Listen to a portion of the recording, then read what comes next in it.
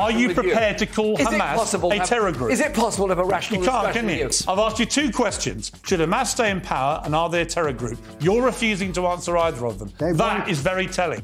Talk TV. It's the only place uh, where you get the truth. You've done a book on poetry. Poetry and music for the many. I love poetry. We can agree on that.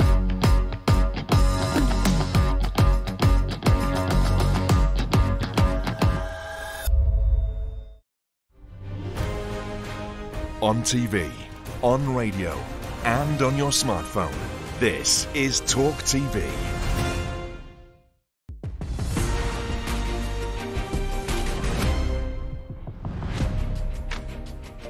Hello and a very warm welcome to the show. I'm Daisy McAndrew, standing in today for Vanessa Feltz. Coming up. We're asking for £21 an hour. Is that really unreasonable for a doctor with so many skills? The longest strike in the history of the NHS is underway as thousands of junior doctors take part in a six day walkout. It's set to push the number of appointments cancelled past the million mark. Mortgage relief for millions. Homeowners could save thousands of pounds this year as lenders kick off 2024 by slashing rates. And his sensational run at the World Darts Championship saw him storm into the final. But will teenage superstar Luke Littler lift the trophy tonight? Give us a ring on 03444991000. You can text TALK to 87222 or tweet us at TalkTV. First, let's get the news headlines with Katie Pilbeam. Good afternoon. A 15 year old boy has been arrested on suspicion of murder over the death of 16 year old Harry Pittman. The Metropolitan Police have said the teenager was arrested on Tuesday along with an 18 year old man who was held on suspicion of affray. Harry Pittman was celebrating New Year's Eve with friends on Primrose Hill when he was fatally stabbed. Two blast, two twin blasts near the Iranian general Qasem Soleimani's tomb has killed more than 100 people. According to Iran state broadcaster, over 100 people were also wounded when the blast hit a procession nearly near the Saheb Al Zaman Mosque in the southern city of Kerman, where mourners were marking the fourth anniversary of his assassination. Well, this comes after Hamas deputy leader Salah al Aruri was killed in a Beirut blast, where an Israeli spokesperson says was a surgical strike against the Hamas leadership. Thousands of hospital appointments and operations will be cancelled over the next six days as junior doctors take part in the longest strike in the NHS's history. Well, members of the BMA in England have staged the walkout as they call for a 35% pay increase. Talks have broken down since the government pay offer was rejected in December. Well, leader of the Liberal Democrats, Sir Ed Davey, says the government's been asleep at the wheel. We understand uh, the, problems that doctors are facing. The government, however, should be fixing this. That's their job, that's what they get paid for. So many parts of the NHS aren't working, whether it's getting a GP appointment, uh, waiting for ambulances, getting NHS dentist, and now the wait times for hospital operations are so big. Uh, the really government, the government should be doing something. More than 500 flood warnings in place across England and Wales following Storm Henk. A total of 272 flood warnings have been enforced, meaning flooding is expected. People in those areas are being urged to turn off gas, water and electricity and move things upstairs. It comes as police in Gloucestershire say a man in his 50s has died after a tree fell on the car he was driving near Kemble yesterday afternoon. HSBC has become the latest lender to cut mortgage rates. The High Street Bank says its new deals will be introduced tomorrow, which includes a two year fixed remortgage rate of 4.49% and a five year deal of 3.94%. It comes as more banks and building societies are expected to follow suit in the coming weeks. Luke Littler is preparing to be the youngest person ever to take part in a final at the World Darts Championship. The 16 year old will face world number one Luke Humphries tonight. Well, these people from Luke's Darts Academy told T Talk TV why they think he's special. I reckon he could be the next Phil Taylor. And he, he could be a lot, he, he can possibly win a lot more than, than what Phil Taylor has. He is on the 16 and not many people, even when they're older, not many people are that good. He is ridiculously good. He really is a special talent and he deserves the hype he's getting. Well, good luck to him. That is the latest. Now it's time for the weather with Nazanin Gaffer.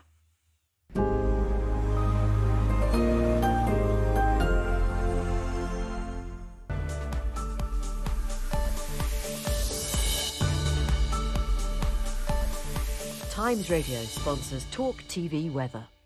Hello. It's not looking as windy today compared to yesterday thanks to Storm Henk. It's now moved away. So for today, it is calmer, but still quite blustery out there with a lot of wet weather to be had as well in the way of showers for most of the UK, as you can see from the earlier satellite and radar, but also spells of rain. In fact, rain on and off across Scotland this afternoon, where it will be rather cloudy and rather blustery around coastal parts. Winds still strong around the English Channel coastline and the Bristol Channel coastline too, with gales likely. And there are lots of showers, as I said, becoming widespread spread across England and Wales and a few for Northern Ireland, some heavy and thundery, particularly out towards the west. Now, overnight, the showers will tend to ease from the west, so it will become somewhat dry and clearer by dawn, and the rain will ease across Scotland too, so carrying on across the far northeast, mainly over Shetland and Orkney, but mainland Scotland becoming drier and clearer from the west, and a tad colder compared to previous nights. And then tomorrow, we've still got some wet weather around. There will be showers, mainly across parts of northern England, Northern Ireland, and the northeast of Scotland. We'll continue to see wet and windy conditions maybe even a little bit of snow for Shetland. Otherwise, it's looking mostly fine, but southern counties of England will see some rain later in the afternoon, which could cause some flooding issues.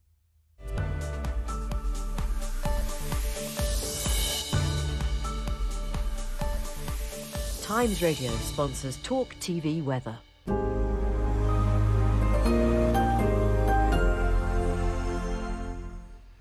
Thank you very much, Katie and Nazanin. Right, let's move to our top story. The longest strike in the history of the NHS is underway as thousands of junior doctors in England take part in a six day walkout. Health bosses say it's one of the most difficult starts to the year they've ever faced, with almost all routine care affected. Junior doctors are locked in a bitter dispute with the government over pay, and this action follows a breakdown in talks last month. The walkout also comes at one of the busiest times of the year for the NHS, with flu and winter viruses on the rise. Well, Talk TV spoke to the co-chair of the BMA committee earlier today. Look, if the government have another offer to make and it's a credible offer that we can put to our members, then of course the strike action can be averted. And Victoria Atkins says she has another offer to make. So it begs the question, why didn't she make that offer before the deadline? Or why hasn't she made it in the four weeks since talks broke down when they pushed us out of the room? Joining me now to discuss this is Dr. Laurence Buckman. He's former chair of the British Medical Association's GP committee. Doctor, thank you so much for talking to us. Many people will find this strike extraordinary, given, as we were just saying in the, your introduction there, given how stretched the NHS always is at this time of year, given that we've got COVID, we've got a flu ongoing, we've already had so many cancellations, waiting lists are so long. Do you understand why less, fewer and fewer people are now sympathetic to this strike? I don't expect anybody to be sympathetic to the strike. I think strike is the last thing you want. And this situation has been reached because the two sides aren't talking to each other, and I think they should. Although we know from the government saying, you know, if you call off this strike, we'll talk, and then, uh, you know, the the um, junior doctors saying we'll talk when you offer us um, another pay deal. The government saying we've already gone as far as we can. So it's a case of chicken and egg at the moment, isn't it? No, I don't think it is. I think uh, negotiation around pay is invariably a give and take on both sides, preferably conducted out of the public eye. And both sides are going to end up talking to each other at some point about some deal or other. So they might as well start now. And um, I know the government doesn't like talking when strike action is, is happening, but actually, that's not realistic. The, the juniors have got to be given something. Remember, junior just means not a consultant. And we know there have been settlements in Scotland and with the consultants. And so I think it is possible Scotland for juniors and consultants for the whole of the UK. So therefore, there is no reason why somebody can't come to some sort of conclusion. And there are all sorts of offers that could be made that would resolve this problem. Well, you're right to say that you know junior doctors, um, some of them are not very junior at all because it goes all the way up uh, to consultant grade, and of course some of them, yes, are on you know salaries that are as low as in the sort of thirty to 37,000 uh, pounds a year, but an awful lot of them are on considerably more than that. You know, the average hospital doctor's salary is eighty-seven thousand pounds a year, and I think most people think that's a pretty respectable salary. Yes, you, you depends what you're comparing it with, and we're particularly talking about the lower end of that pay scale. And the people on the lower end really are earning surprisingly little money for saving your life. Um, and it ought to be more. They work very hard. Many of them are very uh, upset at the way they're being treated by the NHS in general, mainly because of the, the lack of money, but also because they work very hard and they find it difficult. And they're saying they'd rather go and work somewhere else. And therefore, you have to pay the rate for the job. There are constructive ways you could look at the pay scales. Clearly, some of the people who are called juniors are actually very nearly consultants mm. and are on good pay. But there are an awful lot of very new juniors who are very badly paid. But again, if you look at what a junior doctor earns 10 years after graduating, uh, they average 57,000. The average salary for somebody who did a degree, who's uh, earning 10 years later, is 32,000. So even in that case, when somebody is still relatively junior, probably uh, in their early 30s, they are making £20,000 more than other graduates who left university 10 years later, it still sounds like an okay deal. Yes, of course it does. Uh, when you're comparing anyone's income with anyone's income, and you and I know that pay comparability is a very poor tool because everyone looks at what they're earning and thinks it's unreasonable and looks at everybody else and says what they're getting is reasonable. Junior doctors work very long hours in very stressful conditions where they might end up losing their customer, which is unusual in most other walks of life. Uh, and they have to do this for relatively low pay per hour. There are doctors who are more senior who do get more money, but you cannot average it out in that way and say, well, that's the same as any other kind of profession. You really can't compare one profession with another. What you're saying is that junior doctors get a good pay, total average, but that doesn't apply to the youngest doctors, nor the hours they work, which are not particularly reasonable and very stressful for them.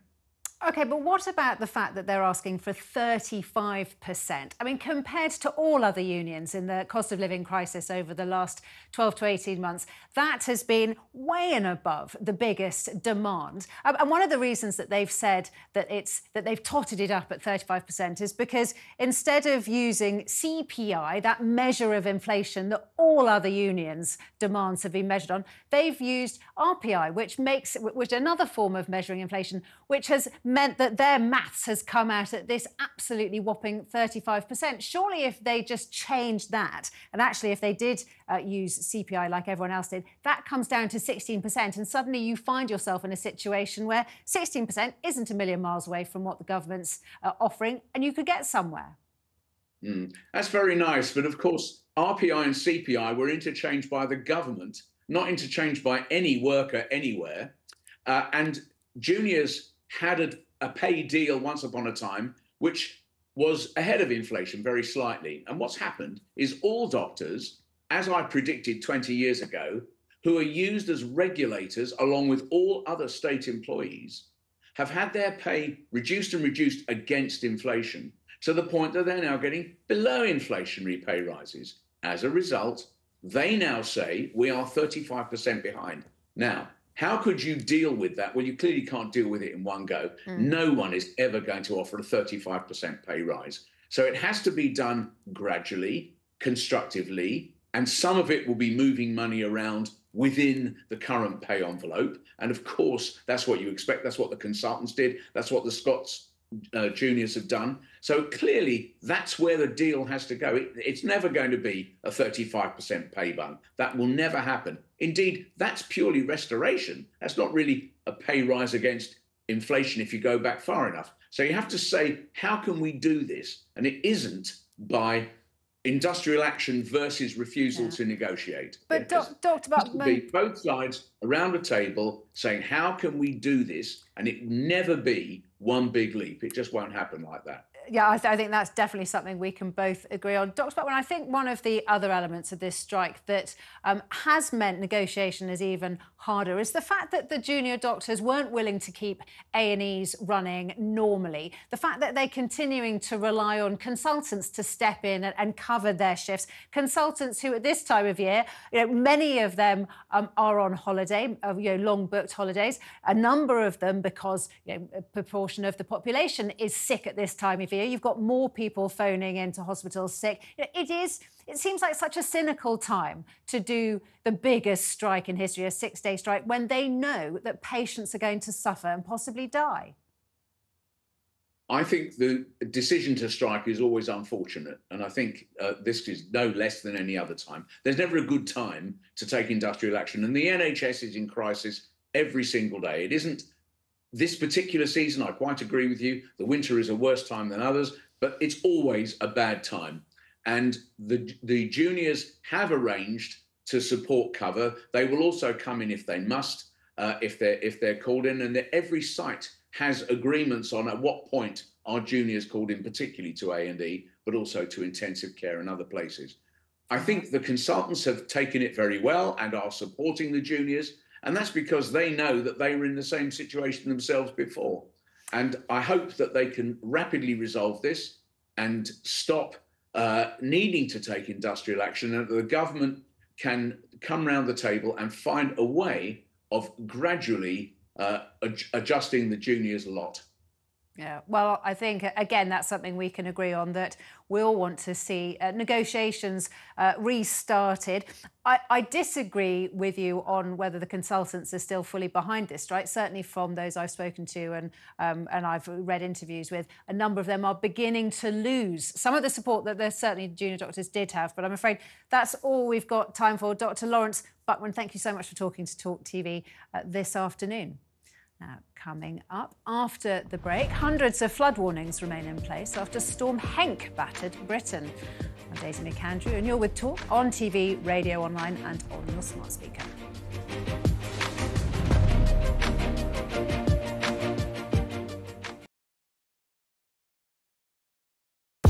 We're here. Thanks for joining us. You're with Talk TV on TV, on radio, online. We're on your smart speaker as well. Criminals to using XL bully dogs as weapons to threaten others. No matter how well trained, most dog owners will tell you a dog can turn. Do you know what I love about Talk Today? We do it all. Sunak, Suella, scones. I rather like David Cameron. I don't sort of bear him any ill will because he delivered the referendum that he said he would deliver. The Tories love a scrap. You can almost see this coming round the tracks with Suella Braverman. She's heading up one side and Rishi Sunak the other. The police are pro Palestine. That is just not right. You swear an oath in the police to act without fear or favour. The COVID inquiry seems to have turned into a sort of pantomime. There's not really any substance to it. It's hard to know whether it's a farce or a tragedy. The amount of time it's taken, the number of illegal migrants currently sent by us to Rwanda, zilch. The amount of money it's cost, we're saying, what are we saying it's cost? About 140 million. 140 million pounds so far. So 140 million pounds so far result nil, absolutely nil. Are we only going to be trusting sources like Meta and Google? Where is our unbiased news going to come from? Calais in winter is cold. that is from the Jeremy Corbyn book. Kevin O'Sullivan is the worst presenter on Talk TV, sitting on his fat ass talking for a living. If you're walking towards me and you're a vegan, you should have a great big orange sticker over here saying, Watch out, vegans about. The weirdest plank that we've had in what, Yeah. three years? Hundreds and hundreds of mice in a box, which he walked into a branch of McDonald's. McMouse Man. McMouse Man, yeah. McMouse Man. He should be easy enough to catch this guy, shouldn't he? I mean, he's got a house full of mice. He's on- Yeah. This is a major summit. President Biden decided this was important after watching a Tom Cruise film. Sunak and the current Conservative government are not Conservative. Why don't you leave that party and come to one that actually shares your ideology? This has been a party political broadcast Ah, on no, behalf I of the know. Reform UK Party. Hi, I'm Ofcom. I'm just- Kids think all they have to do is take pictures of everything. Just shut down TikTok. Problem solved. This is really unfair. What's, what, what's unfair? If it's on camera, we're not doing the interview. Yes, I'm going to do. I'm You're going to- you're going to resign? Yes, because I cannot continue my work. When I say I am God, I'm not joking. Did you feel Elvis was controlling? I've been answering your question, you answer mine. It's actually not my job to answer your questions. Are you with you? prepared to call Is Hamas possible a have- terror group? is it possible to have a rational You can't, can you? I've asked you two questions. Should Hamas stay in power and are they a terror group? You're refusing to answer either of them. That is very telling. Talk TV. It's the only place uh, where you get the truth. You've done a book on poetry. Poetry and music for the many. I love poetry. We can agree on that.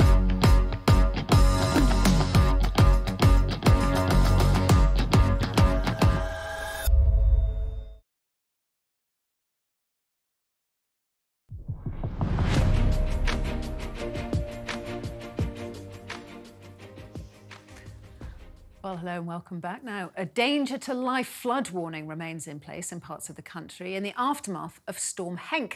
One person died in Gloucestershire and another is in hospital in Kent after trees fell on their cars. The storm has left some home and business owners on standby as flood risks remain high. And on the railways, disruption is expected to continue into the evening. Joining me in the studio to discuss all of this is travel expert guru Simon Calder. Um, Simon, let's deal with the weather and Storm Henk at the moment. Obviously, yesterday it was really quite frightening out there, and we've heard obviously one fatality um, and other injuries. How has today looked? How have the roads been? Uh, the roads are getting better. In fact, the roads, probably relative to the railways, were doing all right, apart, as you say, from this tragic fatality and the other problems we've seen on the roads. It's the railways where we have had just an almighty series of problems to do mostly with fallen trees and flooding. And that has been a theme not just yesterday, but today as well, with a very slow recovery from the problems yesterday, understandably, because there were an awful lot of problems. I mean, awful for commuters, uh, Yeah. particularly at the big London stations. Uh, they they were just being told we're going to suspend all trains for a while, and you're just going to have to wait until we think it's safe to run them again. And Simon, when that happens, and you know commuters are tearing their hair out and you know cursing um, the rail networks, is it fair to blame somebody, or do we just blame an act of God? Such a good question, and of course, uh, the uh, uh, you, you cannot control storms. Some will say storms are getting worse as a result of man made climate change. The unions say we know what's going on, and it is Network Rail failing to invest in things like drainage, in things like clearing line side vegetation. And as a result of that, uh, we are seeing all these problems. Now, um, possibly the answer lies somewhere between, but I have never seen such extreme uh, flooding so regularly. It used to be a kind of once in you know, a year or two. Now Yeah. it seems to be once in a week or two. And of course, we've, we're three days into January, all of which have been miserable for thousands of travellers. And this comes after the worst December ever with strikes, schedule cuts, all kinds of problems with the Channel Tunnel and just general misery, train crew shortages, which has been a problem today, along with broken trains. And would you believe somebody stealing signalling cable, cable at Wakefield, which meant you couldn't get any trains from Leeds to Doncaster? How do you go about stealing cable? I don't know, but I wish they wouldn't. Yeah. Um, and it is, a, yeah, a really serious effect. It led to train cancellations, um, lots of delays and diversions at a time when we desperately need some resilience in our service. And of course, we've got some scheduled misery coming up because we've got uh, train strikes and tube strikes here, here in London coming up. Any glimmer of hope that they might go? Well, uh, yes, just this afternoon. Let me explain what is supposed to be happening. So, from uh, the afternoon of uh, Sunday, the 7th of January, right through to Thursday, the 11th, members of the RMT union working for the London Underground will be walking out. What normally happens is that basically the whole tube system closes down. Now, it's not going to affect, and this is crucial for people wanting to get to and from Heathrow Airport, not going to affect the Elizabeth line, nor indeed the London An underground. Uh, overground network. Sorry to interrupt, but why doesn't it affect the Elizabeth line? Is Because- that different from the? Yes, how it is. that different to the All other these lines? things are run with their own terms and conditions. And the Elizabeth line, is it a tube? Not really. Is it a train? Well, sort of. Um, but it's run on a separate contract and they don't have any dispute going on. This is all about the RMT union basically saying to uh, Sadiq Khan, Mayor of London, who's responsible for Transport for London, go and get some more money from the government and give it to us. And he's saying, we can't. We've been asking for years. Um, and as a result of that, this strike is planned, extremely damaging to hundreds of thousands of commuters and everybody else who wants to get around in London. These things can get called off, and indeed, just this afternoon, the RMT union has said to Transport for London, OK, if we both agree to go to ACAS, the conciliation service, then we can call off the strike now. So that might happen, but at the moment it's still going ahead. And of course, yet more uncertainty. In terms of rail strikes, nothing on the cards at the moment, but ASLEF, the train drivers union, is going to be meeting next week, its executive committee, and I would not be at all surprised if they called more national strikes for later in January. Now, Simon, I'm delighted you mentioned ACAS, and our younger viewers might not even know what ACAS is, but when I was a Cub reporter, I spent hours standing outside that ACAS headquarters, which, as you said, was the conciliatory um, bureau where the unions would get into you know smoke-filled rooms, all smoking their cigarettes and pipes, and they would get together with ACAS and representatives of the government. And the theory was thrash out a deal when whenever there was a strike ongoing. But in this wave of strikes we've had in the last sort of two years or so, ACAS is barely mentioned. Does it not really function anymore? Well, it of course works if both parties want to go to it. But the thing is, each party, particularly in the train drivers against the train operators, and actually ultimately the government,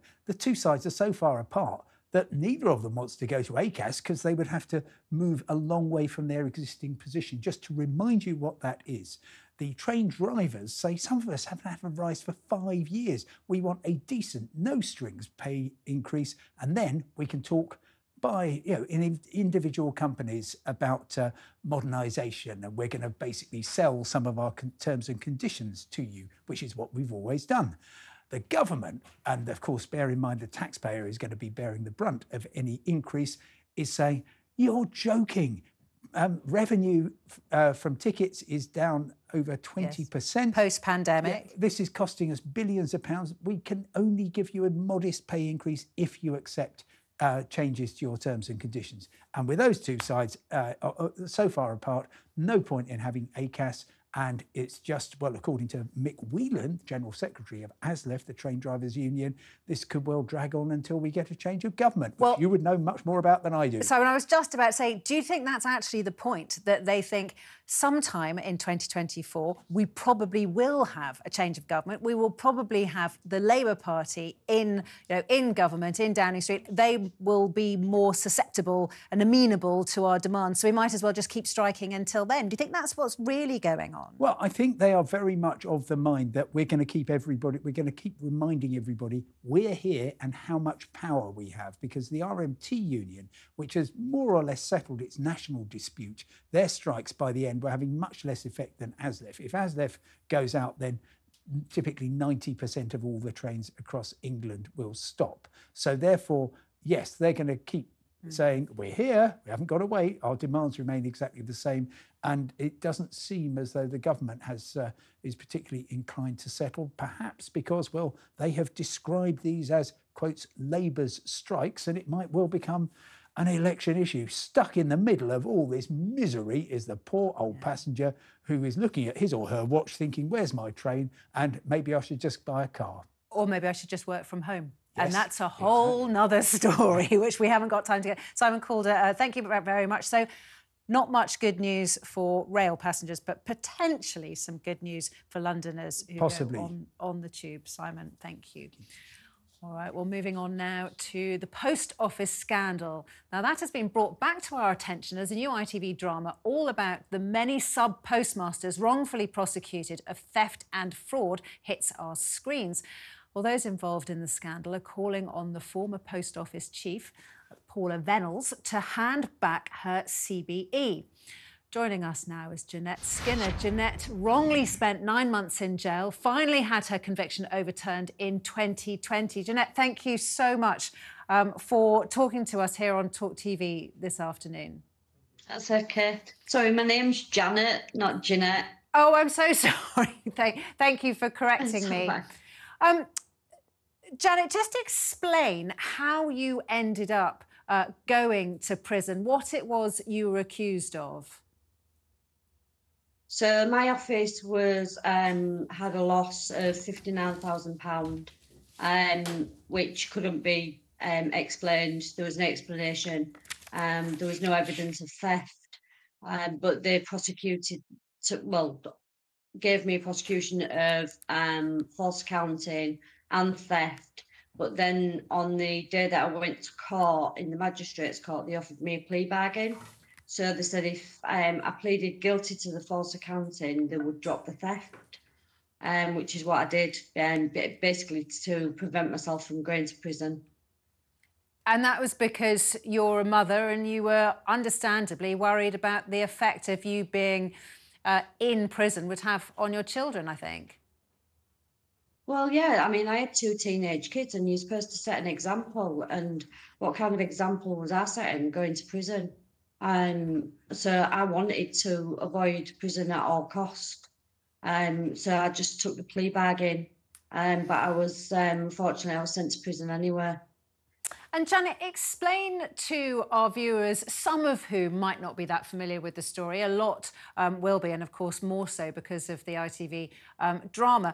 But explain the scale of what happened to postmasters like yourself, and the fact that at the time you didn't know that there were so many other people in the same situation being accused of things that they absolutely hadn't done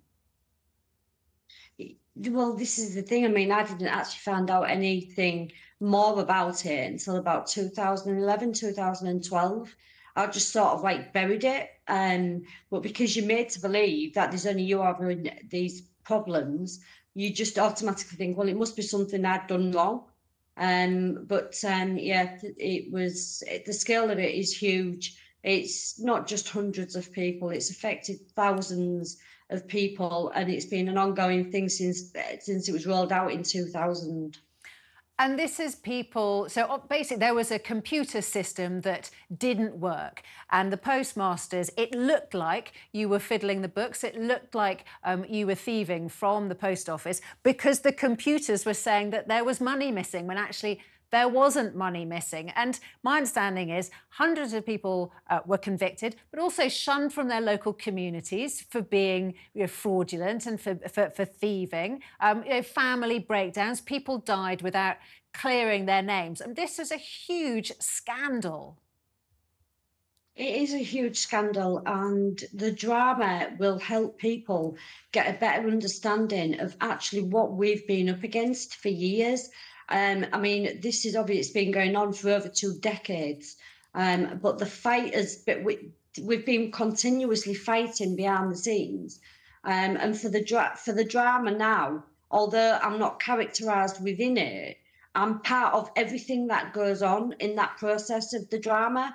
Um, but I mean, for the drama itself, it was impossible for them to um, ca- cast a character of 555 people um, so they, you know, they have they've had to break it down, um, and I think they've done a really, really good job in the way that they've brought the story out and the way that now the it's actually now getting the media attention that it so rightly deserves.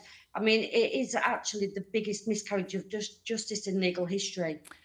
And not everybody has had the compensation. I know that's one big issue. But another issue that people have been talking about today, Janet, um, is whether the former boss of the post office, uh, Paula Vennells, should hand back her CBE. My understanding is that um, the Mr. Bates um, of the, the eponymous uh, Mr. Bates um, of the TV drama actually was offered a CBE and turned it down.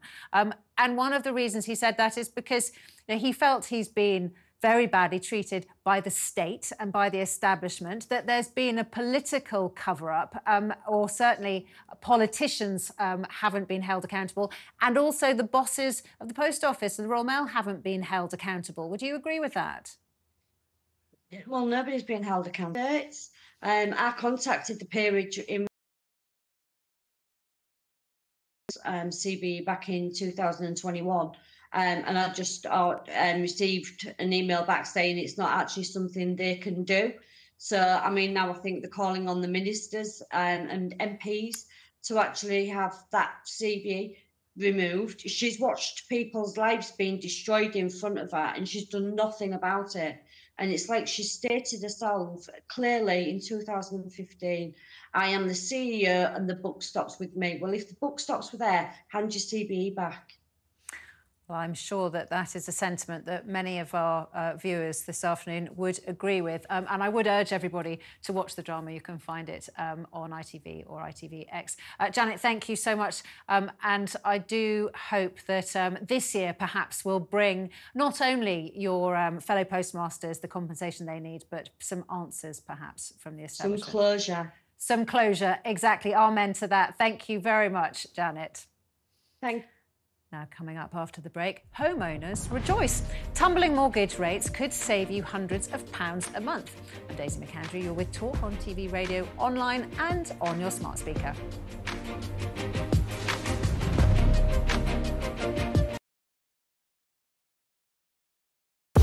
We're here. Thanks for joining us. You're with Talk TV on TV, on radio, online. We're on your smart speaker as well criminals to using XL bully dogs as weapons to threaten others. No matter how well trained, most dog owners will tell you a dog can turn. Do you know what I love about Talk today?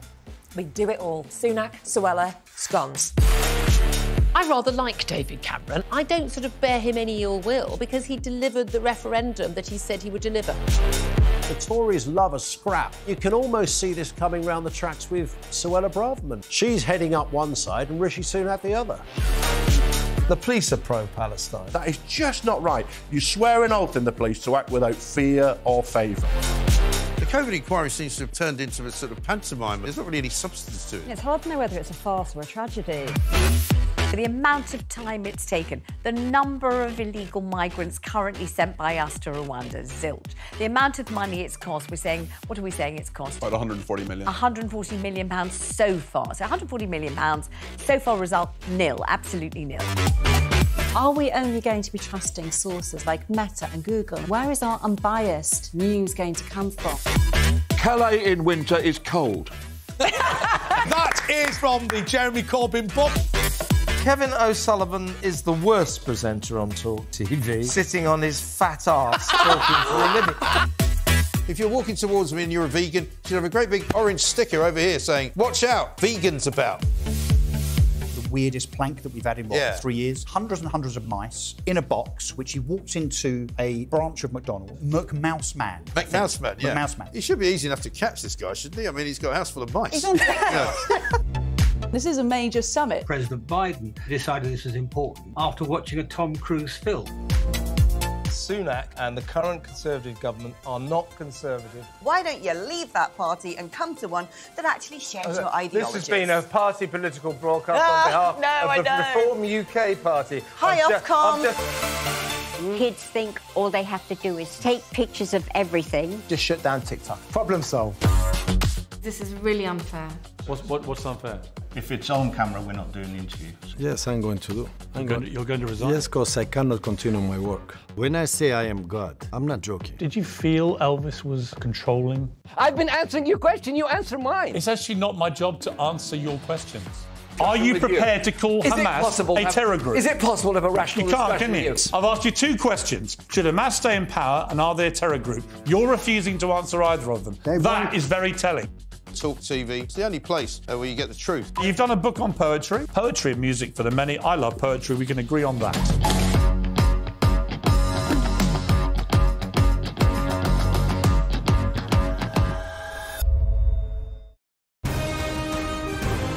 This is Talk TV.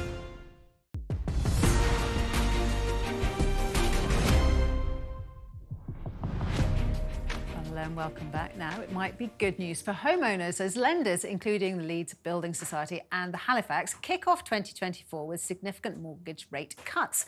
Some deals have fallen by as much as 1%, potentially saving thousands of pounds for those with expiring fixed rate deals. Joining me live is the mortgage advisor Sally Mitchell, also known as the Mortgage Mum. Sally, very good to have you on.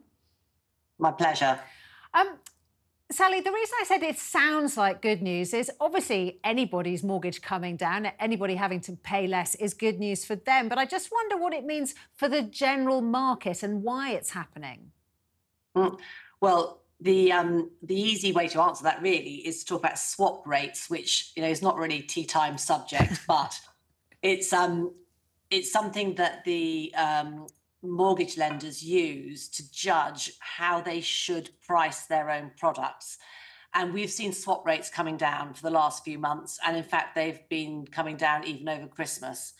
And that shows the mortgage lenders, they think that there are brighter times ahead and that maybe um, a base rate cut is on the horizon. And so the lenders feel confident that they can actually offer more um, affordable rates, shall we say. It is worth pointing out that although the rates are coming down, which is great news, for the 1.6 million people who are remortgaging off low rates this year, that's an awful lot of people.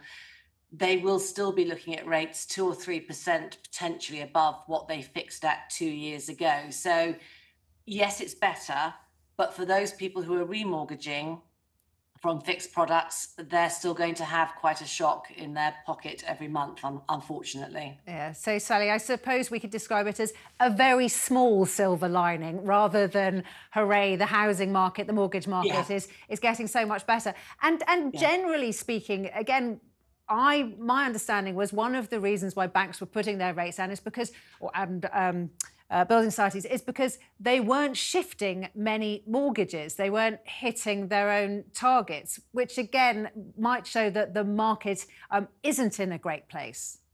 Yeah, I mean, it's certainly true that they have targets. They have money that they have to lend. You know, that is their their job is to lend money, and otherwise they don't make any money. Um, and the market has been, I wouldn't say depressed, but it has been suppressed in the last six months or so. And you know, no wonder when rates were going to six, seven, seven and a half percent, unless you really had to, who wanted to commit to a mortgage rate of that? Mm. What we have seen in the last month or so, and the lead up to Christmas, which was very strange, um, is a returning confidence in purchasing. So people who have held off, people who have thought, no, not now, not at the moment, I'll just wait and see, appear to be thinking, okay, if not now when you know things are going in the right direction. And the lenders can really encourage that sort of growth in the market by offering these rates.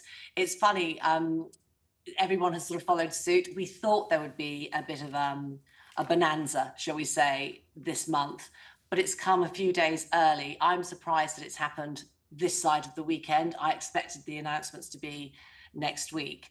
Um, and i hope that it does give people confidence to you know to gosh, get on with their lives and and and you know take that leap if they can, because it's been a really difficult year for most mortgage holders and prospective buyers. And Sally, we've only got a few more seconds, um, but anybody who either has to move uh, their mortgage because, as you said, they're coming to the end of their their fixed term, or people who are thinking maybe it's time for me to move, maybe it's time for me to remortgage. What's the best advice at the moment? Oh, um, don't bury your head in the sand. I always say this. Get some advice from a from a reputable mortgage broker. Recommendations are the best. Um, and start looking at your options at least six months ahead of time. That way, you can lock in a rate if you're remortgaging. You can do that six months ahead of time. And then knowing you can change it if things improve, if there are better rates out there in, in the period. Um, and if things do go slightly awry, which we have seen, then at least you know you've got something in your back pocket and it's not the worst case scenario. So preparation is key. Okay, well, I think always that advice, don't stick your head in the sand, is very, valuable, very valuable advice. Sally Mitchell, thank you very much. We are now moving on because the government has announced a side hustle tax clampdown. Now, this is about the online platforms, places like eBay, Airbnb, Amazon. They must now share seller information with Her Majesty's, His Majesty's Revenue and Customs.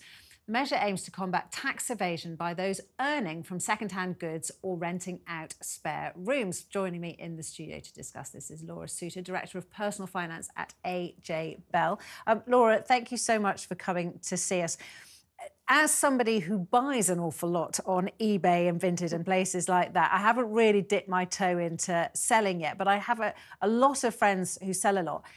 Are they going to be affected by this? Are you suddenly going to have to do, you know, a, tax return because you're selling a few old clothes on eBay, or is that not the type of person this is aimed at? So I think what's really important to say is while the rules change, the tax rules haven't changed. And so this will only catch out people who either weren't declaring this income before or weren't aware that they had to, because as we know, tax is very complicated and it's often hard to work out whether you owe it or not. But essentially, there's a thousand pound limit, and that's what people need to be aware of. So you can make a thousand pound of trading income. So that is what we would probably now call side hustle income. So income outside of your main job, whether that's selling things on Vinted or eBay, whether that's renting out your driveway, for example, or for maybe teenagers doing babysitting work on the side. You can earn that thousand pounds each tax year before you have to declare it to the taxman and before you have to pay tax on it. So that's the crucial threshold. If you're under that, then you're, you shouldn't need to fill out a self-assessment tax return or pay any tax on that money. If you're over that, then you need to ask some questions. So this is, as we said in the introduction, people who might be renting out a room on Airbnb, but not not as their main source of income or, or not regularly. People who sell a bit on eBay and Vinted and those places.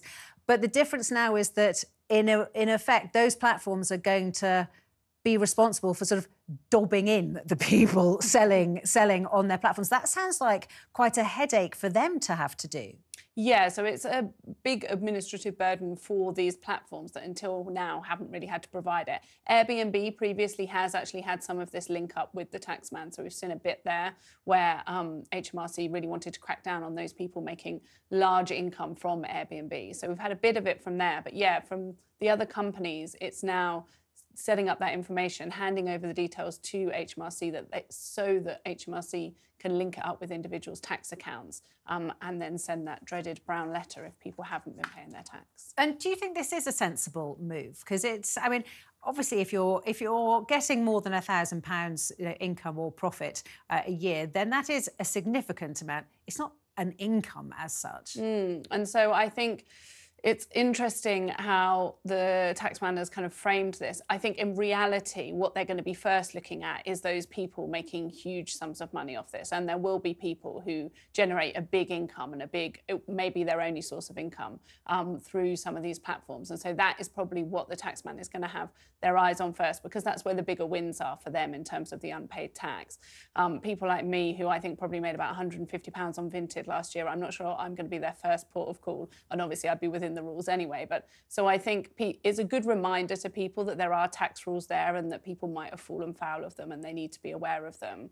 And I suppose in many ways, when people talk about the gig economy and all these types of, and also particularly younger generations um, in the workforce, tending to have multiple sources of income, multiple careers on the go. It's you know, long gone um, have been the, days of, of, my sort of grandfather, who that generation would have one job and that was their job for life. You know, now people are doing lots of different things. They might be selling a bit on Vinted. They might be, you know, driving an Uber. Uh, they might have a day job as well. That's much more common, but it's complicated for the taxman. Exactly, and it's complicated for individuals because it's far easier to just be employed by a company who then pay you through PAYE. They sort out your tax tax, your national insurance, and you just have that one job. But yeah, if you've got multiple jobs and multiple employments, as well as multiple side hustles, it gets quite complicated for individuals to work out. Now, there is a lot of help on the gov.uk website, so it's not necessarily a case that you need to go out and pay for an accountant, although if you have more complicated cases, that might be worthwhile. Yeah, but, it, but it is a good reminder that actually you need to add together everything that you're earning from all of these different jobs,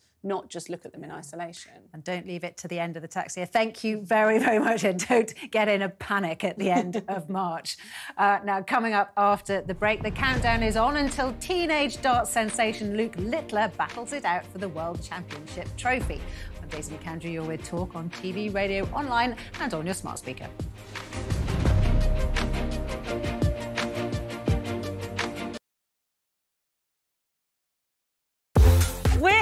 We're. Thanks for joining us. You're with Talk TV on TV, on radio, online. We're on your smart speaker as well criminals to using XL bully dogs as weapons to threaten others. No matter how well trained, most dog owners will tell you a dog can turn. Do you know what I love about Talk Today?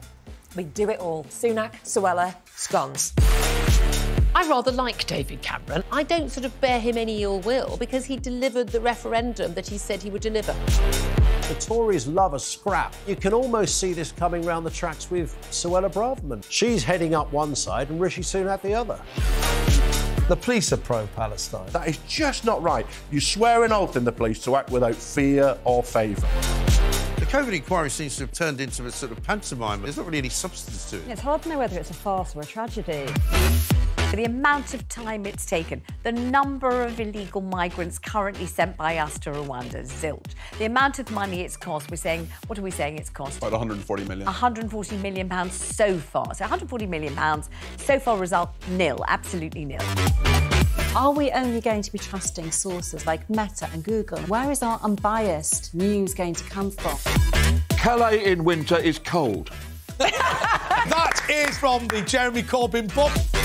Kevin O'Sullivan is the worst presenter on Talk TV, sitting on his fat ass talking for a living. If you're walking towards me and you're a vegan, you should have a great big orange sticker over here saying, Watch out, vegans about. The weirdest plank that we've had in what, Yeah. three years? Hundreds and hundreds of mice in a box, which he walked into a branch of McDonald's. McMouse Man. McMouseman, yeah. McMouseman. He should be easy enough to catch this guy, shouldn't he? I mean, he's got a house full of mice. He's on Yeah. This is a major summit. President Biden decided this was important after watching a Tom Cruise film. Sunak and the current Conservative government are not Conservative. Why don't you leave that party and come to one that actually shares your ideology? This has been a party political broadcast Ah, on behalf no, I of the don't. Reform UK Party. Hi, I've Ofcom. I've just- Kids think all they have to do is take pictures of everything. Just shut down TikTok. Problem solved. This is really unfair. What's, what, what's unfair? If it's on camera, we're not doing the interview. Yes, I'm going to do. I'm You're going to- you're going to resign? Yes, because I cannot continue my work. When I say I am God, I'm not joking. Did you feel Elvis was controlling? I've been answering your question, you answer mine. It's actually not my job to answer your questions. Are you with you. prepared to call Is Hamas possible a have- terror group? is it possible to have a rational You can't, discussion can you? with you? I've asked you two questions. Should Hamas stay in power and are they a terror group? You're refusing to answer either of them. That is very telling. Talk TV. It's the only place uh, where you get the truth. You've done a book on poetry. Poetry and music for the many. I love poetry. We can agree on that.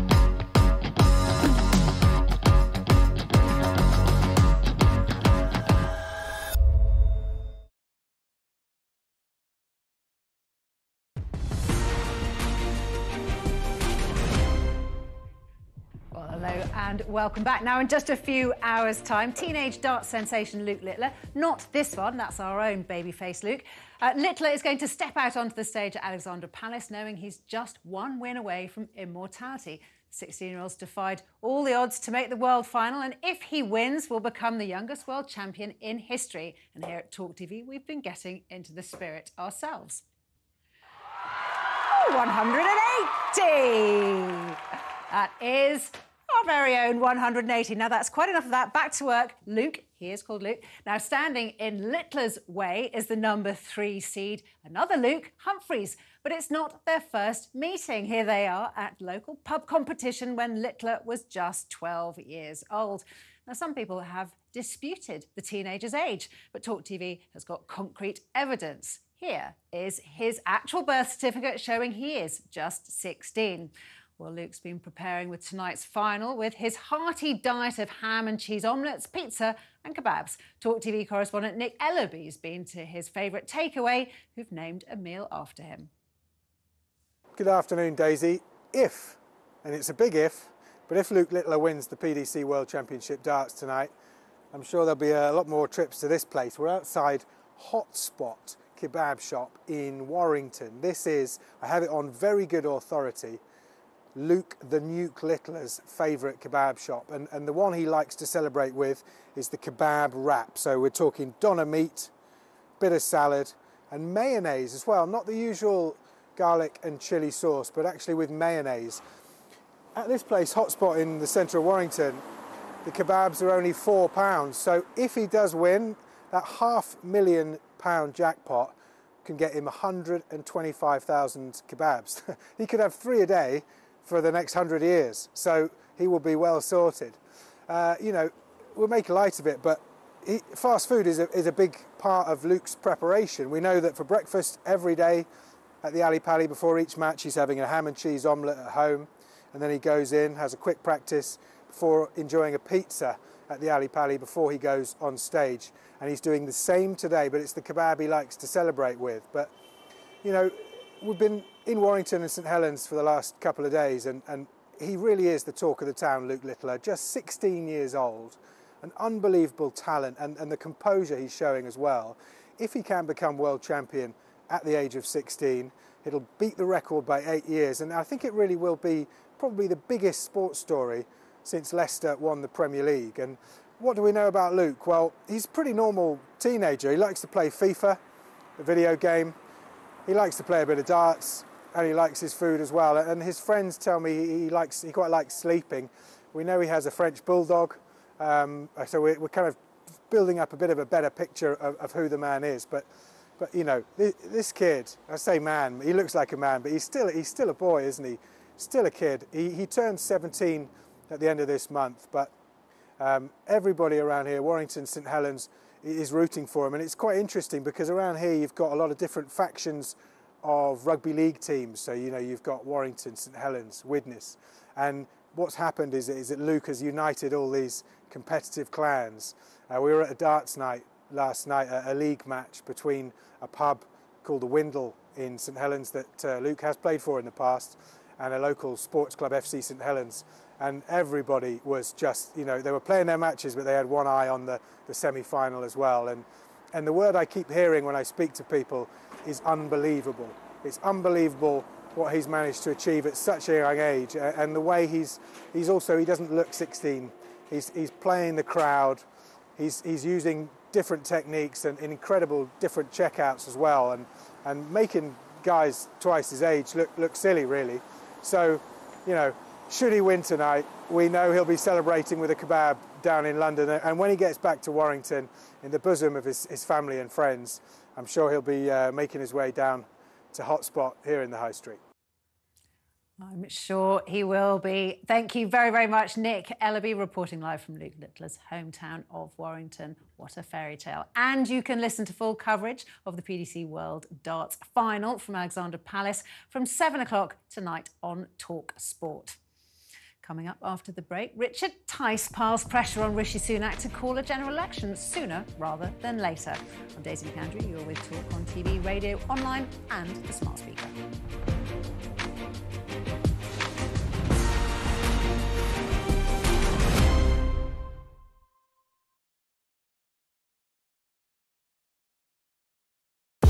We're here. Thanks for joining us. You're with Talk TV on TV, on radio, online. We're on your smart speaker as well criminals to using XL bully dogs as weapons to threaten others. No matter how well trained, most dog owners will tell you a dog can turn. Do you know what I love about sport today? We do it all. Sunak, Suella, scones. I rather like David Cameron. I don't sort of bear him any ill will because he delivered the referendum that he said he would deliver. The Tories love a scrap. You can almost see this coming round the tracks with Suella Braverman. She's heading up one side and Rishi Sunak the other. The police are pro Palestine. That is just not right. You swear an oath in the police to act without fear or favour. The COVID inquiry seems to have turned into a sort of pantomime. There's not really any substance to it. It's hard to know whether it's a farce or a tragedy.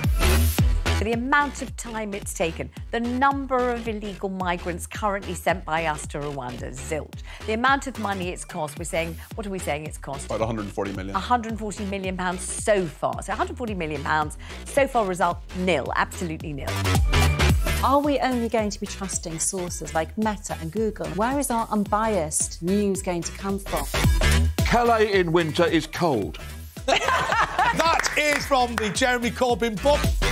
Kevin O'Sullivan is the worst presenter on Talk TV, sitting on his fat ass talking for a living. If you're walking towards me and you're a vegan, you should have a great big orange sticker over here saying, Watch out, vegans about The weirdest plank that we've had in what, yeah. three years. Hundreds and hundreds of mice in a box, which he walked into a branch of McDonald's. McMouse Man. McMouse Man, yeah. McMouse Man. He should be easy enough to catch this guy, shouldn't he? I mean, he's got a house full of mice.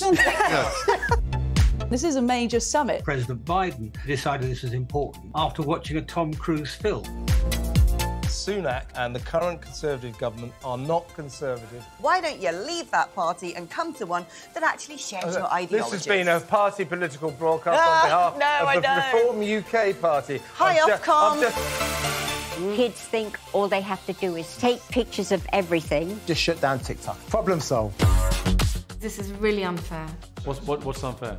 If it's on camera, we're not doing the interview. Yes, I'm going to do. I'm You're going to- you're going to resign? Yes, because I cannot continue my work. When I say I am God, I'm not joking. Did you feel Elvis was controlling? I've been answering your question, you answer mine. It's actually not my job to answer your questions.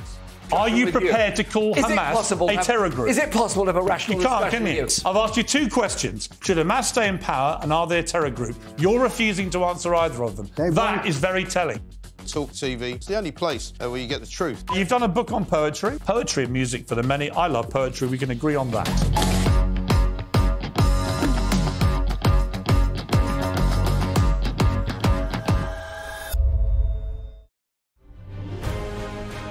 On TV, on radio, and on your smartphone. This is Talk TV.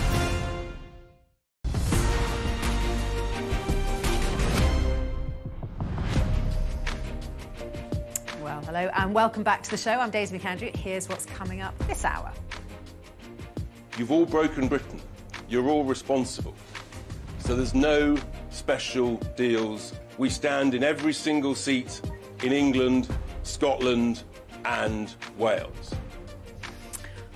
Fighting talk. Richard Tice kicks off Reform UK's election campaign with a scathing attack on the Tory party's failures and warns a Starmer led government would be a disaster.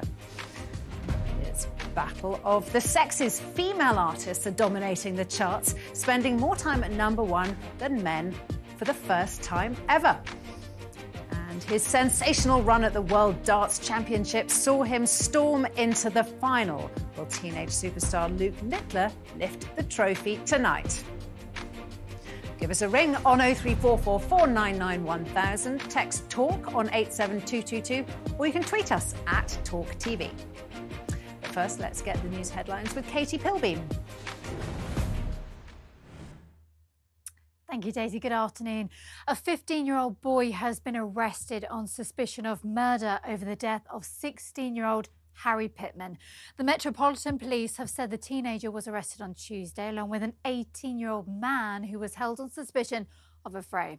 Harry Pittman was celebrating New Year's Eve with friends on Primrose Hill when he was fatally stabbed. Thousands of hospital appointments and operations will be cancelled over the next six days as junior doctors take part in the longest strike in the NHS's history. Members of the BMA in England have staged the walkout as they call for a 35% pay increase. Talks have broken down since a government pay offer was rejected in December. The leader of the Liberal Democrats, Sir Ed Davey, says the government's been asleep at the wheel. We understand uh, the, problems that doctors are facing. The government, however, should be fixing this. That's their job, that's what they get paid for. So many parts of NHS aren't working, whether it's getting a GP appointment, uh, waiting for ambulances, getting NHS dentist, and now the wait times for hospital operations are so big. Uh, the really government, the government should be doing something. More than 500 flood warnings are in place across England and Wales following Storm Henk. A total of 272 flood warnings have been enforced, meaning flooding is expected. People in those areas are being urged to turn off gas, water, and electricity and move things upstairs. It comes as police in Gloucestershire say a man in his 50s has died after a tree fell on the car he was driving near Kemble yesterday afternoon. At least 100 people have been killed and hundreds more injured following twin explosions at a ceremony in Iran.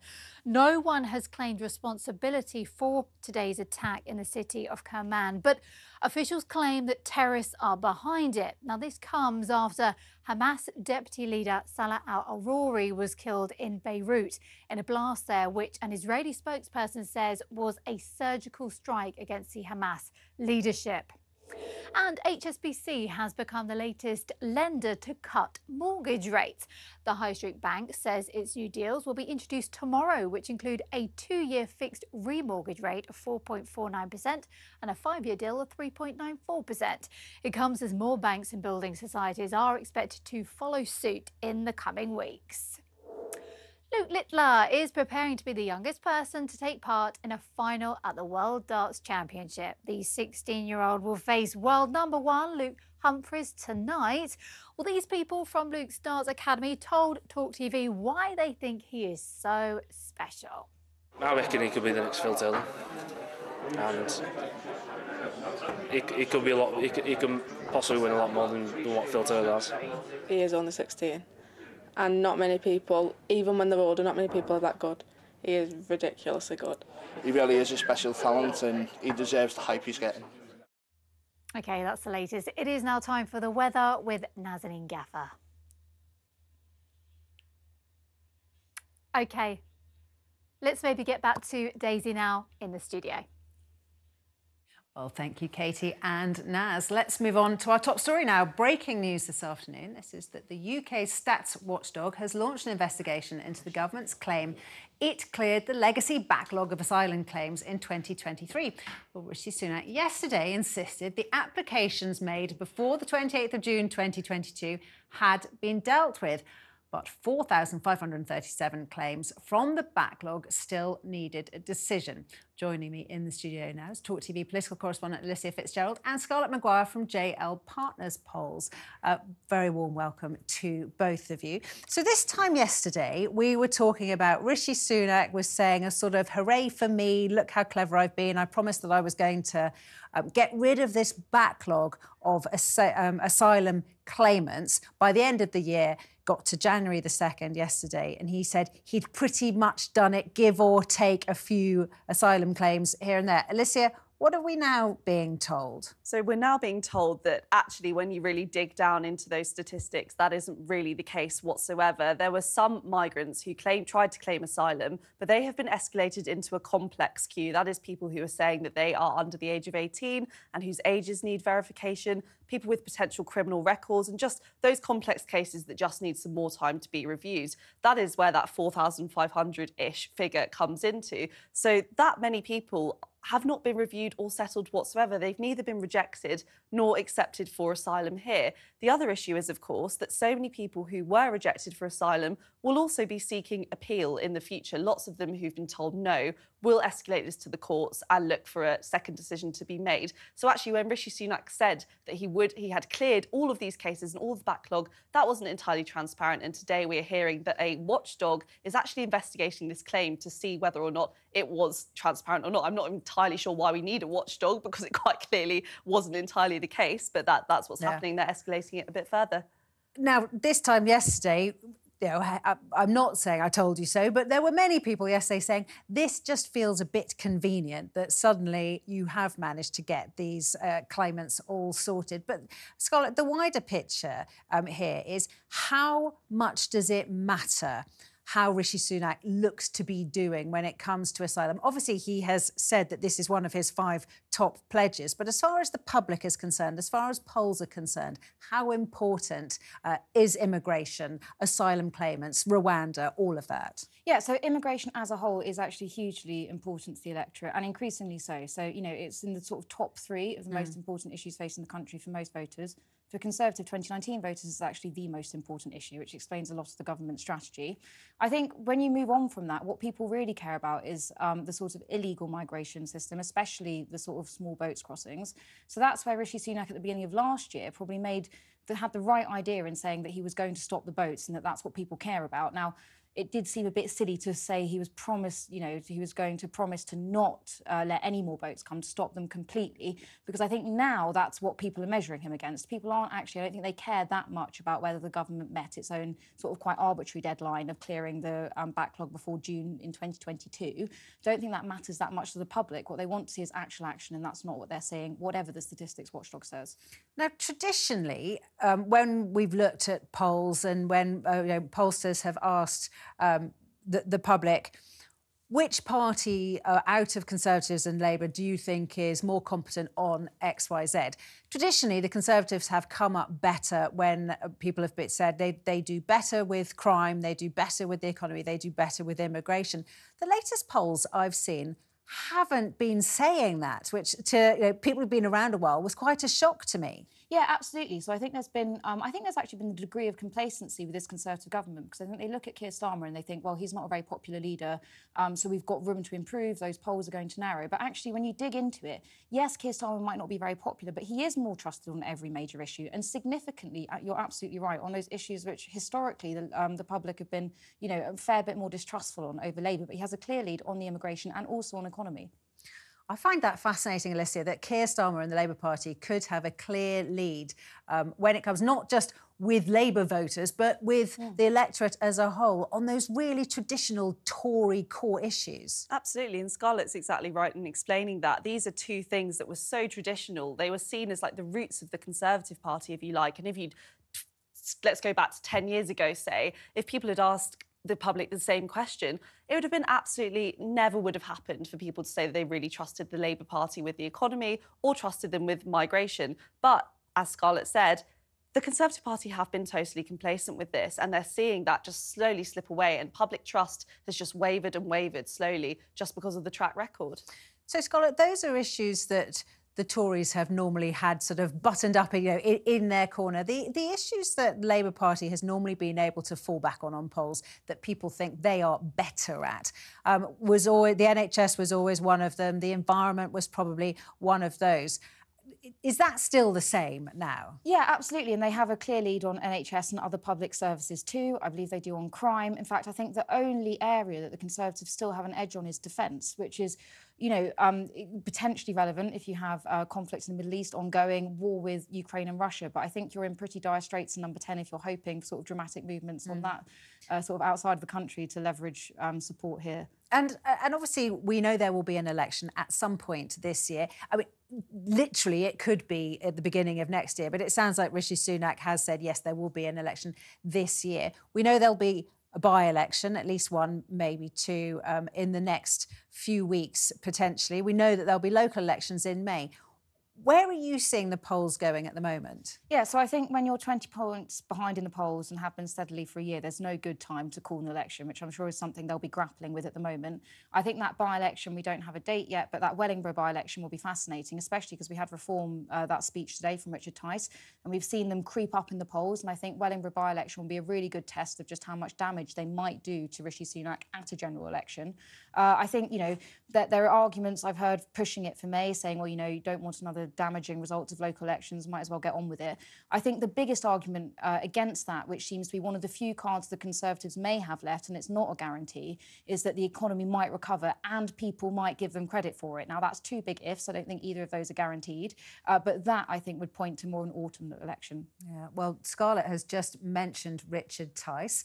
Um, and talking of him, uh, he kicked off Reform UK's election campaign today, but ruled out entering into any sort of political pact with what he's describing as the terrified Tories.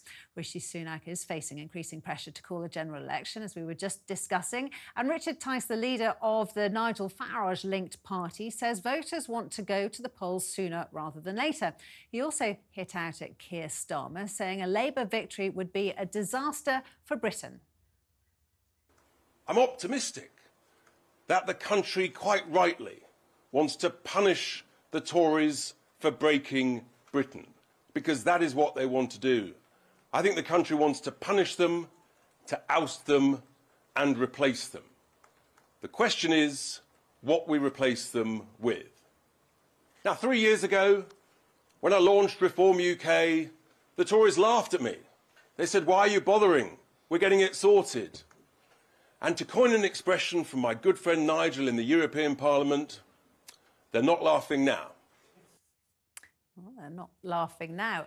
Alicia, do you think reform might have the last laugh, or does this all depend on what his good friend Nigel does? Well, it's really interesting. So, Reform only recently said that they would, in fact, be standing in every single seat across the country. And the Conservatives all got a bit nervous at this because they had really hoped that in the Conservative safe seats, for example, Reform would actually take a step back and just let them hopefully take the win.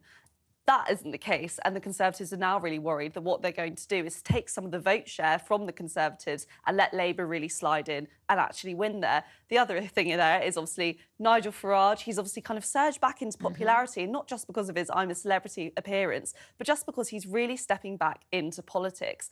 He's a very Marmite character, love him, hate him, but he does appeal to a very, very specific audience in the UK. And lots of members of the Reform Party really want him back as their leader, really. And Lee Anderson, he's the Deputy Conservative Party chairman, he said this morning that he was praising Nigel Farage and he was saying that he hopes that Nigel actually does become the leader of Reform. So Reform are a big threat to the Conservative Party more than anything else here. But this is the same Lee Anderson that said that he'd been offered oodles of money to defect from the Conservatives to reform. So slightly mixed messages. But Scarlett, help us understand what's going here. Uh, not long ago, people a lot of people were writing off the Reform Party and saying that they weren't going to be big players in the next general election. It was pretty much a two horse race uh, between Labour and Conservatives. That doesn't seem to be the case. What are you predicting on um, how well or badly Reform will do? Yeah, so I mentioned sort of earlier on that the polls have been fairly steady with a 20 point Labour lead. I actually think the most interesting thing that has been happening in the polls has been that uptick in support for reform.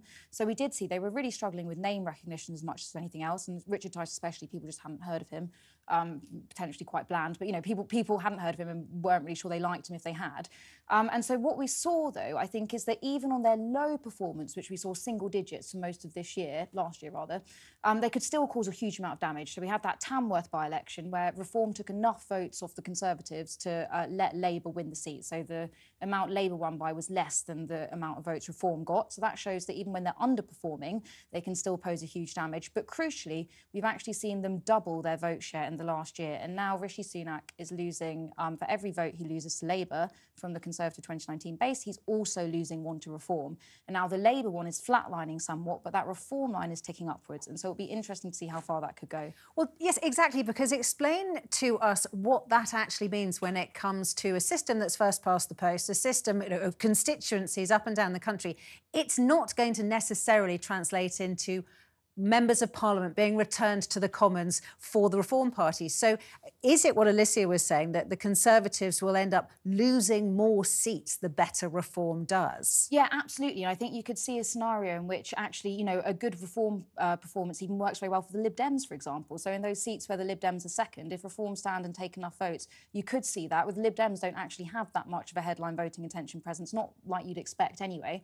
But it could hugely benefit those parties which are second. And you're absolutely right. I think it's quite unlikely Reform will win any MPs, but they can still inflict a huge they, amount of damage. They, they certainly can. Well, we all know how much uh, the Lib Dems uh, love their gimmicks. And today it wasn't just Reform kicking off their election campaign. The Lib Dem leader, Sir Ed Davey, was out and about pledging to target the blue wall.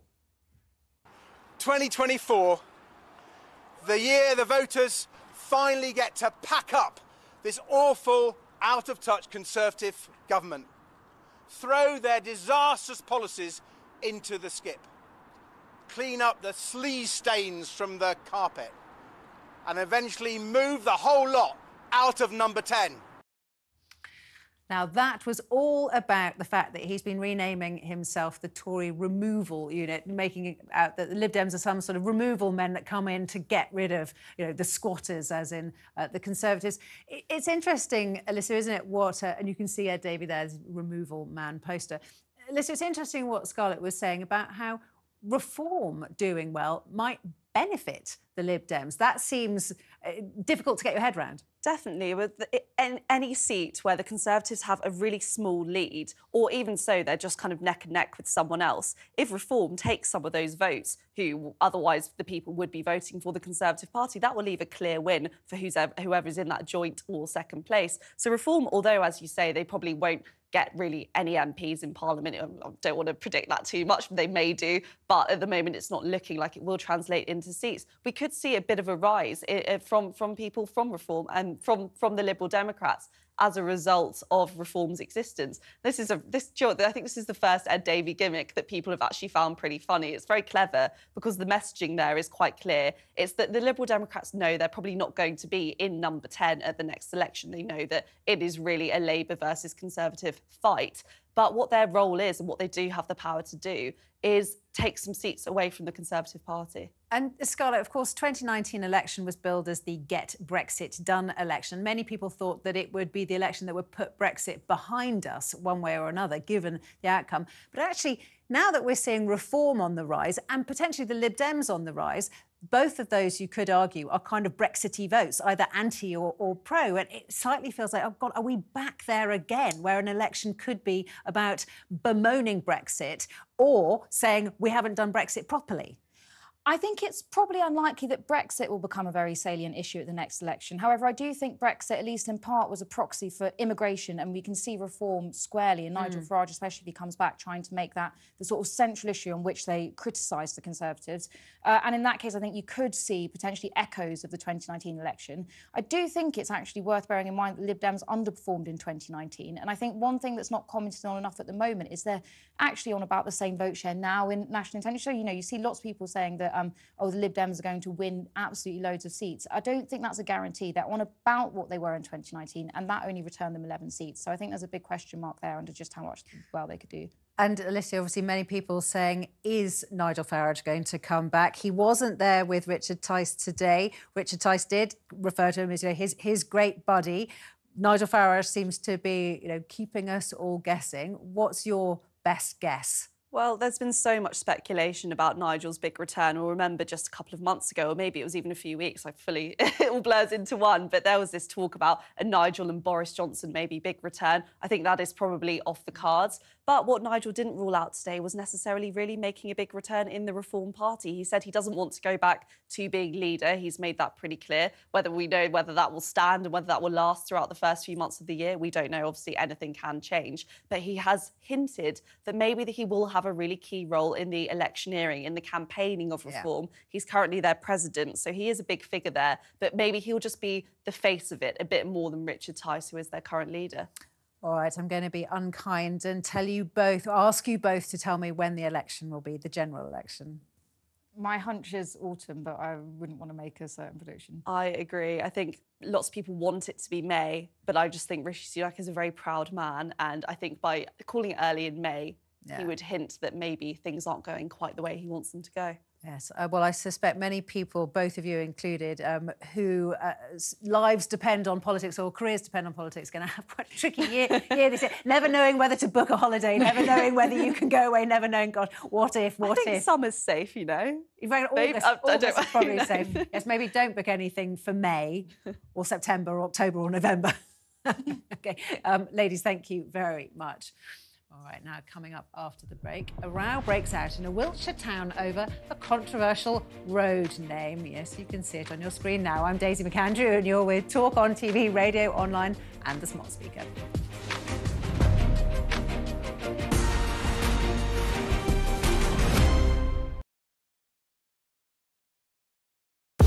We're here. Thanks for joining us. You're with Talk TV on TV, on radio, online. We're on your smart speaker as well criminals to using XL bully dogs as weapons to threaten others. No matter how well trained, most dog owners will tell you a dog can turn. Do you know what I love about Talk Today? We do it all. Sunak, Suella, scones. I rather like David Cameron. I don't sort of bear him any ill will because he delivered the referendum that he said he would deliver. The Tories love a scrap. You can almost see this coming round the tracks with Suella Braverman. She's heading up one side and Rishi Sunak the other. The police are pro Palestine. That is just not right. You swear an oath in the police to act without fear or favour.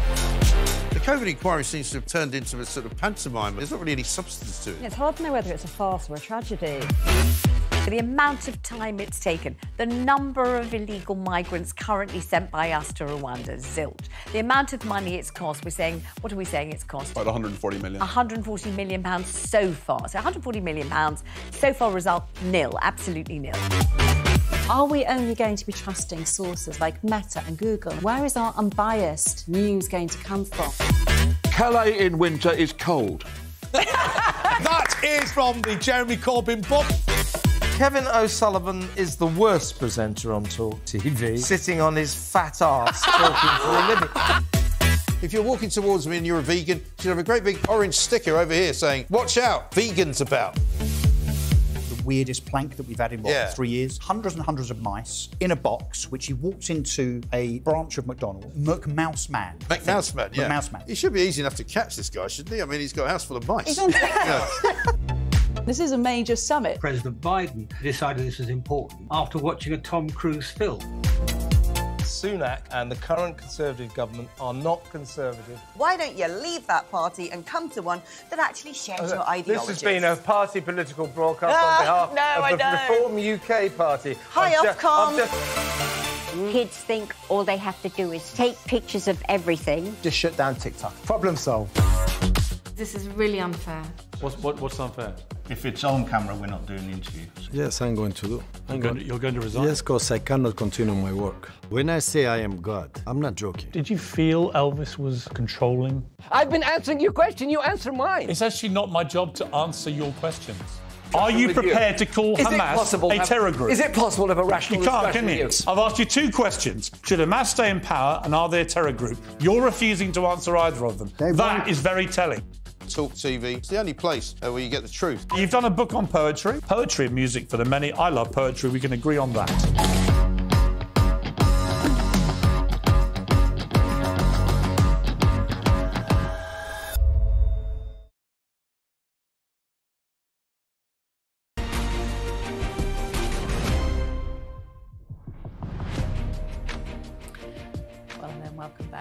Just a couple of hours' time, teenage darts sensation Luke Littler will compete in his first World Championship final.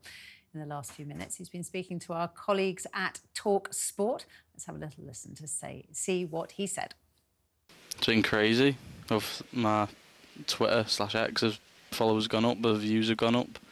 My Instagram have gone shot out the window and have even had messages off David Beckham, Romeo, Luke Shaw. You got a message from Becks? Yeah. Zero. What did, what did Becks say? Was it a DM from Becks? Uh, I don't. I think he said, "Well done, once a red, always a red."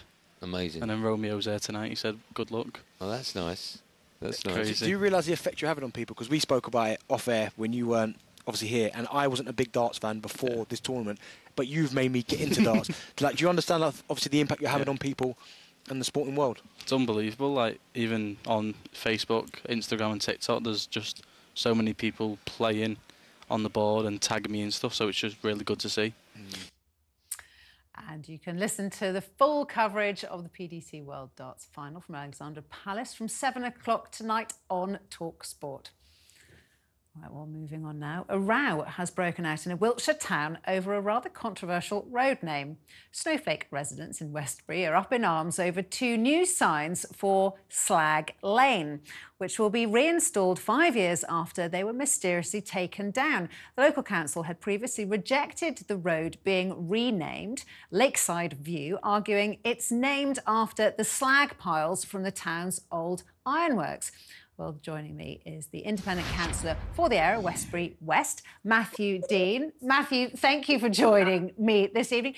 Explain um, the, the background to this story and, what it was the residents wanted and what the council wanted. Well, I don't think there's a, a conflict actually. Um, what's um, what what the background really has been is that um, over hundred years ago, um, the council named uh, this road, which is a predominantly non-residential road, Slag Lane, after the slag uh, heaps that were that were made um, when the old ironworks closed. And uh, up till very, very recently, um, everyone's been happy with that. It, it, all it does is denote uh, the area and the history of the area. Um, and then um, recently, about 2014, um, some new residents who moved into the area uh, suggested that, uh, that the road was uh, renamed. And uh, I think the balance of opinion is that most people think should things should be kept as they as they are. Um, slag, of course, might have some unfortunate connotations uh, for some people, but that's not, of course, the meaning of, the, of this particular road, and that's why it was named. Well, that's right. I was also reading, uh, Matthew, that um, perhaps, according to some of the newspapers, that perhaps some of the residents thought that their houses would be worth more if the road was changed from what could be interpreted as a rather embarrassing name. Do you buy that? Uh, well, uh, no, I don't. In fact, uh, it's been put to me exactly the opposite, and that uh, actually, uh, actually, the last thing we want to do is if you've got a, a very distinctive name for a, a piece of land that's been named for over a hundred years, um, the last thing you want to do is to change it round. I mean, I suppose if we're being kind, I can imagine, you know, if you're a teenage girl living on that road and you have to give your address and you say that you live on Slag Lane, I can imagine that there would be teasing and it might be embarrassing. That I totally get. But rather like you, I still don't think that's a good enough reason to change a historic name. Well, we seem to live in an incredibly woke uh, politically correct times. And, uh, you know, my view is that, um, that people just need to uh, get a bit of a grip, really. Um, I think uh, if this is the biggest problem you've got in your life, uh, you're worrying about your the road near you that that has almost no residential housing on it at all. Um, if you're worried about the name of that road, if that's the biggest problem in your life, then uh, then life is good. Well, rather like you were, were saying, and I, I know that the signs have been have been down for a bit, but sometimes in these places that have comedy names or you know embarrassing names or names that can be cropped like Scunthorpe to make something unfortunate out of them that actually you find that quite a lot of people travel to those areas to particularly in this social media age to take a silly selfie next to the, the place name I wonder if that'll be the same for Slag Lane well, Slag Lane is the main access road to an industrial estate. So uh, I can't see it ever being uh, a sort of destination uh, of choice for uh, people wanting to uh, live on a residential area. But uh, I, I, think it's also something of nothing, really. Um, I did read in the one paper that they thought that the signs had been down to been down to vandalism. And we, we think actually that the sign that came down was hit by a bus, appropriately enough, and uh, that's how it happened to uh, happened to be removed. Well, I suppose from you know, for some areas, uh, the only thing worse than um, being talked about is not being talked about. So you've ended up on, I don't know if you see that you've ended up on the front page of the Daily uh, Star today. You know your village. So I guess you've been well and truly put on the map. Well, um, we're a great little market town. We've got the biggest uh, white horse in Wiltshire. We're close to uh, Bath and Salisbury, and uh, in many ways, we're a, an unremarkable town. Uh, we've, we've, got a mix of sort of new and older housing. Uh, we've got a, a, large industrial estate on the side of the town. If uh, if this means that people are a bit more interested in what goes on in Westbury, then that's also good. Well, there you've got. I think you've done a very good job of flagging up uh, all the reasons uh, why we should be uh, travelling or even moving uh, to Westbury. Whether or not, as you said, Slag Lane is the address that everybody wants, but very appropriately, it's the road towards an industrial estate, and it's named after uh, the industrial slag heaps that came from the ironworks. Uh, Councillor, thank you very much uh, for talking to us here on Talk TV this afternoon, um, and congratulations for not giving in to the snowflakes. Now, coming up after the break, female artists spent more time at the number one spot last year than any time in history. So, are chart queens finally reigning supreme? I'm Daisy McAndrew. You're with Talk on TV, radio, online, and your smart speaker.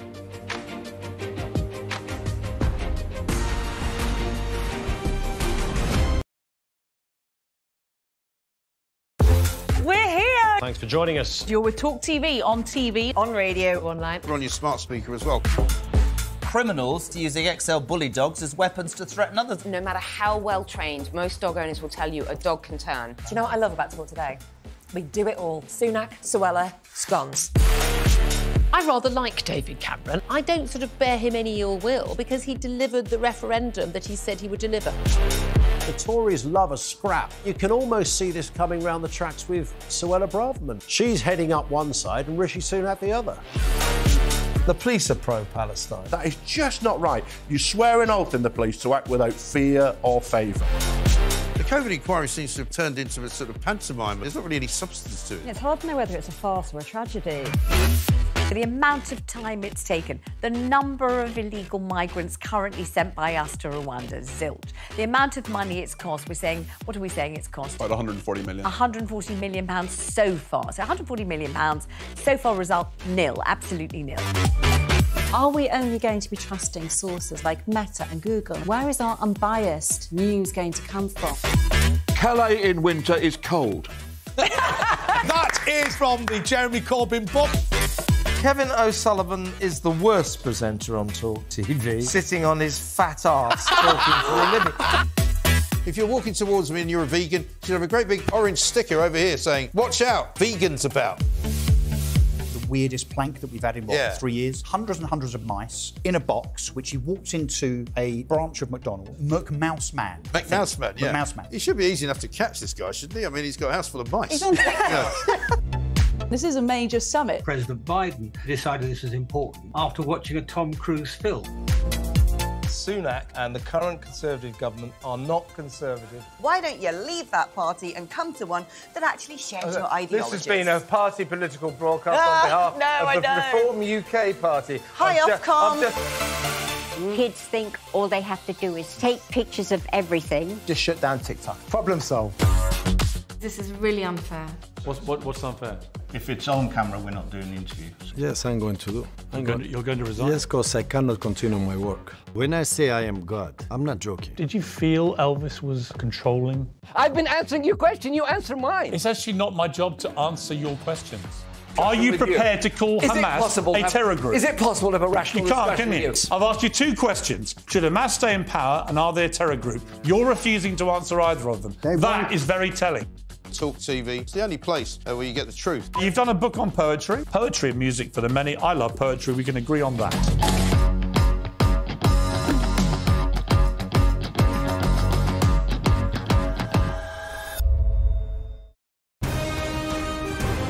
This is Talk TV.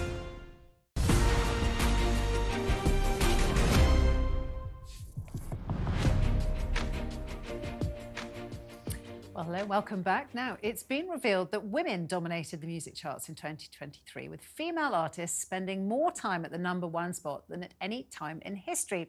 Miley Cyrus led the way with her post breakup song Flowers. That spent 10 weeks at the top of the charts. Dave and Central Cee's track Sprinter took second place, while singer Raye secured third spot. Joining me live is music journalist Mark Webster. Mark, obviously, to me, this sounds like cause for celebration. Um, but traditionally, it's always been the case, hasn't it, that men just have dominated the music charts Yeah. more than women. Totally right, and and, and I think Daisy, it's going to happen again. It's the, it's how the industry works. But the great news is is that the, the the female, the women part, the women's part in in the whole pop music process has always been there, and it's never going to go away. And and this year's been a particularly strong one for what the Spice Girls would have called girl power, of course. Um, as you say, the charts are dominated. Uh, biggest selling album of the year was the Barbie soundtrack, which is littered with great female artists. You've got Beyonce back on the road with the Renaissance tour and, and Dolly playing Glastonbury. So 2023 was a good year. It was a good year. So I remember being told that the reason men and you know boy bands and so on always did so much better uh, overall was that um, men like to listen to uh, male singers and women like to buy records and girls, particularly teenage girls, buy male singers because the men want to be the pop stars um, and the girls are sort of you know fancy the pop stars. Is that a thing of the past now? That sort of wild generalization as to why men sold more records than women? It's a really good question because if you also look at the the information that's come out over the last year, is the way that records are being bought or music is being listened to has changed dramatically because there's no real rules about it anymore. It's not all about the chart singles, particularly. Downloads mean that there's no such thing as old anymore. Virtually everything can be contemporary because everything can be got at. I think one of the big deals is that in popular music, you'll have your big genre runs. You had rock and roll, you had punk, you had disco, uh, you had house music, you've got grime of most recent years. They tend to be dominated by male artists, certainly Mm. initially, to kind of start the revolution. And that's backed up by a lot of the people that are in the industry as well to, to help that become a thing. But once it's settled down, this is when I think we reach a point where the music that that the, the, the ladies deliver that is delivered by the writers, by the producers, by the musicians, and by the artists starts to hit pay dirt because what we have is a very melodious period. We've had extraordinarily good, catchy, accessible music come through of recent times. The next pop revolution is probably around the corner, and it's probably going to make a lot of people cover their ears and say, What's this racket? But once that racket has been bought into by a new generation, it'll settle down, and we'll, again, we'll have another strong influence of, of, of women within the music. All right. Now I can imagine that I'll probably be one of those people covering my ears and saying, "What is this? what is this racket?" When my my teenagers are playing whatever the next big thing is. But Mark, what do you think the next big thing is? I could definitely see coming through another era that it's 50 years this year of, of disco. And Beyonce touched on that style um, with the Renaissance album and, and with her tour. And I think, again, this plays into the hands of the fact that so many of our great disco performers were the great divas of the scene. And I've got a funny feeling that good, old fashioned, catchy disco, but perhaps with a slightly more contemporary beat, is going to have a real flourish in 2024. Well, I probably wouldn't wouldn't be covering You'd be my okay with that? ears. I'd, I- I'd be okay. I'd be okay with that. Yeah, it's it's the sort of you know the grime um, and that type of thing that I that, that I can't I can't really stomach. Um, we can't talk about the power of the female pop star at the moment without talking about Taylor Swift. The, the way that she dominates now, and, and not just you know, dominates the charts, which is what you and I specifically are talking about, but financially dominates the way she's sort of taken control you know of that the way that she can shift an economy wherever she goes. I mean that has been a hell of a thing to watch. It's incredible how how Taylor Swift worked her way up from becoming from what was basically a popular country singer into, as you say, a world dominated pop star.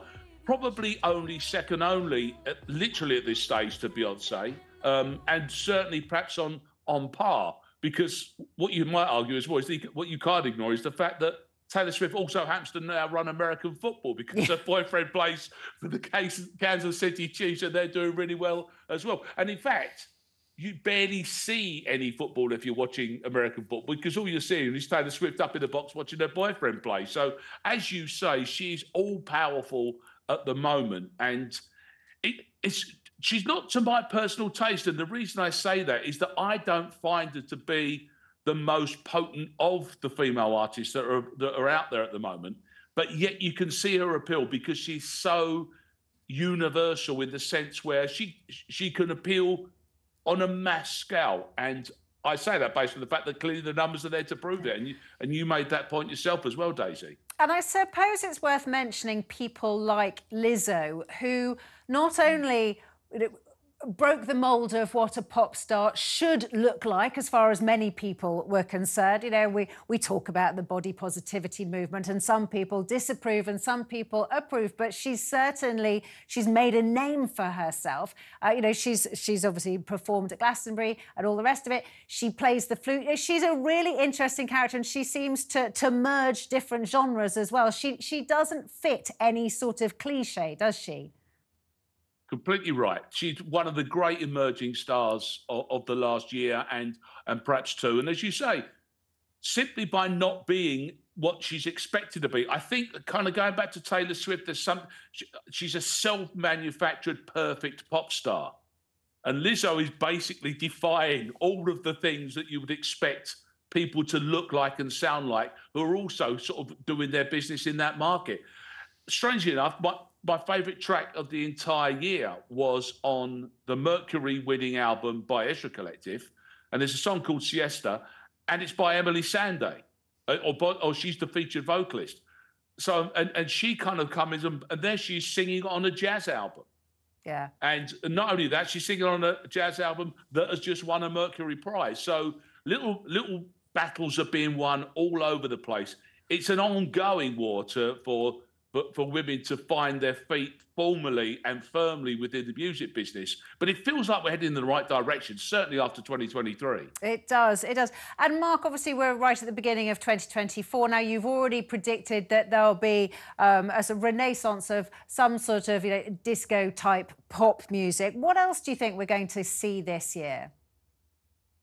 there's a big movement because the, there's an anniversary coming up of Two Tone, and there's a new book out about it. The anniversary is here as well.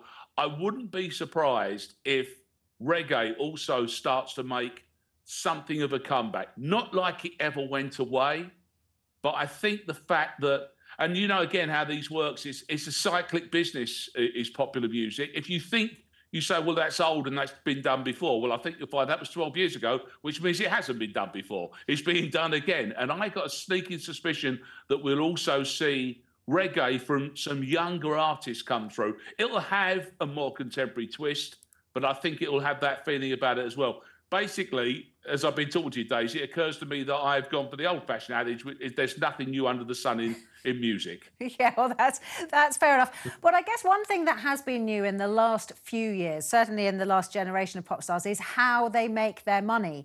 You know, it, it when when you and I were, were younger, it was all about it was all about being you know top of the pops. It was about um, you know breaking through into the charts, making money by selling records. Of course, since streaming, since Spotify, s- you know all the rest of that, things have changed, and it all became about the the, the blockbuster live performance, the gigs, the merchandise, and all that. Is that going to continue down the same vein? Yeah, definitely. Because as you as you point out so correctly, the the, the old-fashioned way of making money by selling units, as the as the industry likes to call it, as, it doesn't really exist anymore. So therefore, artists, and again, we go back to Taylor Swift on this one here, and Beyonce is owning yourself in the sense of you are a 360 degree business now. I am a person, everything that's attached to me as me as this pop pop artist person, I get to a piece of the pie. In the old days, it didn't always happen. And- so, as and- you say, ticket sales and merchandise are they, were- they were always such a bugbear with, with even the biggest stars. Madonna had terrible time with that in her uh, in uh, when she was at, at the peak of her fame. And, and Mark, just explain to people who might not fully understand quite what a, a, a clever cookie Taylor Swift was when it came to owning her own songs and, and how she felt she was being swindled and how she overcame that. good business, good business partners, and also the fact that what also doesn't particularly happen anymore, and it can't, is that the major record companies, and they did become uber major over the last decade or more. We, we, we were more familiar with, with various different record label type that you would all know the names of. But if you if you look if you look behind the Wizard of Oz curtain, it's about three companies that owned it all. So what's happened a little bit more now is that that you're that these artists are going in there without having to basically sign their lives away to Mm. these major companies, which also therefore means that the major companies are having to make a lot more concessions than they would have done. The theory would have gone if you want to be a star, you're simply going to have to do as we tell you. Now, at least they're in a position where they can negotiate themselves into a better deal. Yeah, really, really interesting. Mark Webster, thank you so much for talking us through what's um, what's up, what's down, um, and how uh, the girls are doing it uh, for themselves as far as it comes to uh, the charts. Mark Webster, thank you very much. Thank you. And of course, just um, on that Taylor Swift thing, what she actually did was because she didn't own the copyright to a lot of her own songs, she simply re recorded them and re released them to get around the fact she'd been swindled. Right now, coming up after the break, less than two hours to go until teenage sensation Luke Littler battles it out for the World Championship trophy. I'm Daisy McAndrew, you're with Talk on TV, radio, online, and smart speaker.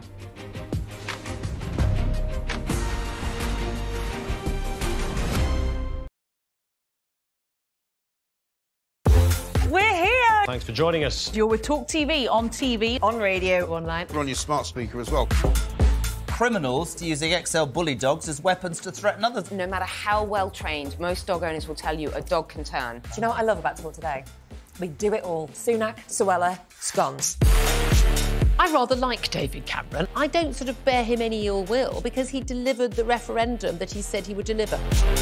The Tories love a scrap. You can almost see this coming round the tracks with Suella Braverman. She's heading up one side and Rishi Sunak the other. The police are pro-Palestine. That is just not right. You swear an oath in the police to act without fear or favour. The COVID inquiry seems to have turned into a sort of pantomime. There's not really any substance to it. It's hard to know whether it's a farce or a tragedy.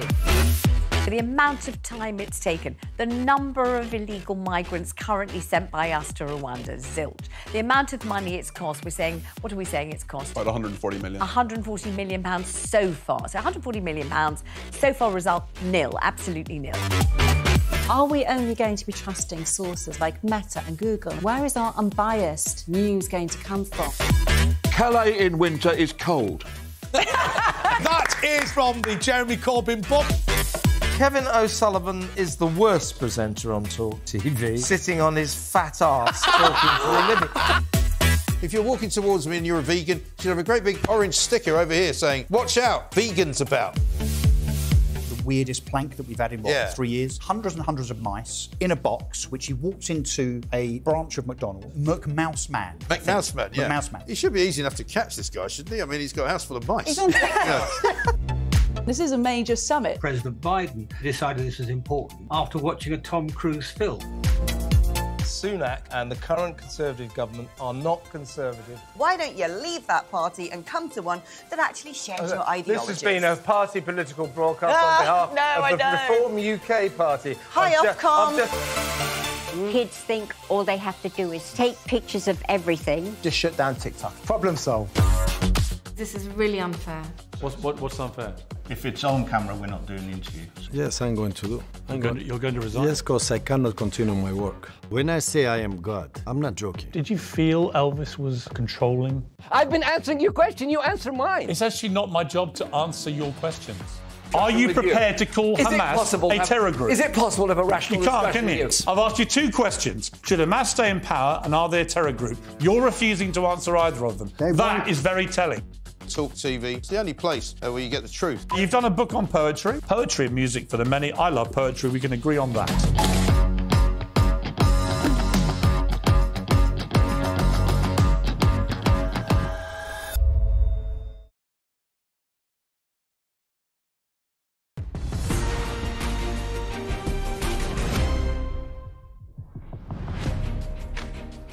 Hello, welcome back. Now, 16 year old darts wonder kid Luke Littler is on the cusp of making history. The teenager is just one win away from becoming the youngest darts world champion ever.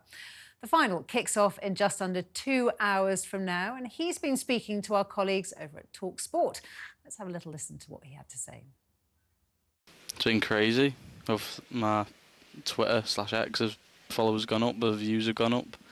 My Instagram have gone shot out the window, and have even had messages off David Beckham, Romeo, Luke Shaw. You got a message from Becks? Yeah. Zero. What did, what did Becks say? Was it a DM from Becks? Uh, I don't. I think he said, "Well done, once a red, always a red." Amazing. And then Romeo's there tonight. He said, "Good luck." Oh, that's nice. That's nice. Crazy. Do you realise the effect you're having on people? Because we spoke about it off air when you weren't obviously here, and I wasn't a big darts fan before this tournament, but you've made me get into darts. like, do you understand, like, obviously, the impact you're having on people and the sporting world? It's unbelievable. Like even on Facebook, Instagram, and TikTok, there's just so many people playing on the board and tagging me and stuff. So it's just really good to see. Mm. Well, Luke prepared for tonight's final with a diet of pizzas and kebabs. Our correspondent Nick Ellaby's been down to his favourite takeaway in Warrington and sent this report. Good afternoon, Daisy. If, and it's a big if, but if Luke Littler wins the PDC World Championship darts tonight, I'm sure there'll be a lot more trips to this place. We're outside Hotspot Kebab Shop in Warrington. This is, I have it on very good authority, Luke the Nuke Littler's favourite kebab shop. And, and the one he likes to celebrate with is the kebab wrap. So we're talking doner meat, bit of salad, and mayonnaise as well. Not the usual garlic and chili sauce, but actually with mayonnaise. At this place, Hotspot in the centre of Warrington, the kebabs are only four pounds. So if he does win, that half million pound jackpot can get him 125,000 kebabs. he could have three a day for the next hundred years. So he will be well sorted. Uh, you know, we'll make light of it, but he, fast food is a, is a big part of Luke's preparation. We know that for breakfast every day at the Ali Pali before each match, he's having a ham and cheese omelette at home, and then he goes in, has a quick practice before enjoying a pizza at the Ali Pali before he goes on stage. And he's doing the same today, but it's the kebab he likes to celebrate with. But, you know, we've been in Warrington and St Helens for the last couple of days, and, and he really is the talk of the town, Luke Littler, just 16 years old, an unbelievable talent, and, and the composure he's showing as well. If he can become world champion at the age of 16, it'll beat the record by eight years, and I think it really will be probably the biggest sports story since Leicester won the Premier League. And what do we know about Luke? Well, he's a pretty normal teenager. He likes to play FIFA, a video game. He likes to play a bit of darts, and he likes his food as well. And his friends tell me he likes, he quite likes sleeping. We know he has a French bulldog, um, so we're, we're, kind of building up a bit of a better picture of, of who the man is. But, but you know, this, this, kid, I say man, he looks like a man, but he's still, he's still a boy, isn't he? Still a kid. He, he turned 17 at the end of this month, but um, everybody around here, Warrington, St Helens, is rooting for him. And it's quite interesting because around here you've got a lot of different factions of rugby league teams. So, you know, you've got Warrington, St Helens, Widnes. And what's happened is, is that Luke has united all these competitive clans. Uh, we were at a darts night last night, a, a, league match between a pub called the Windle in St Helens that uh, Luke has played for in the past and a local sports club, FC St Helens and everybody was just, you know, they were playing their matches, but they had one eye on the, the semi-final as well. And, and the word I keep hearing when I speak to people is unbelievable. It's unbelievable what he's managed to achieve at such a young age, and the way he's, he's also, he doesn't look 16. He's, he's playing the crowd. He's, he's using different techniques and incredible different checkouts as well, and, and making guys twice his age look, look silly, really. So, you know, should he win tonight, we know he'll be celebrating with a kebab down in London. And when he gets back to Warrington, in the bosom of his, his family and friends, I'm sure he'll be uh, making his way down to Hotspot here in the High Street. Well, Nick, thank you very much. I can confidently predict that A Luke will win tonight because they're both called Luke. Sadly, we've come to the end of the show. Thank you for tuning in. See you tomorrow. Bye bye.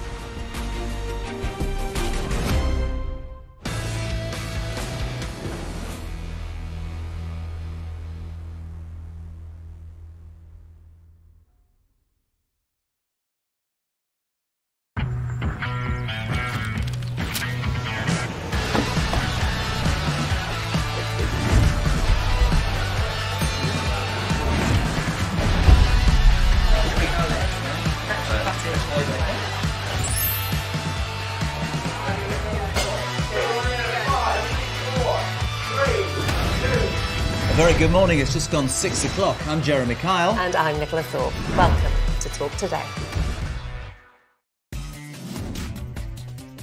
People of Britain, do you fancy a good dose of common sense before bed? Because the independent Republican Mike Graham is now in prime time. We still cover all the stories that matter and put the world to rights. We just do it a little bit later on. So don't miss the independent Republican Mike Graham Monday to Thursday nights at 9 pm, right after Piers Morgan Uncensored. Yes, the revolution will be televised.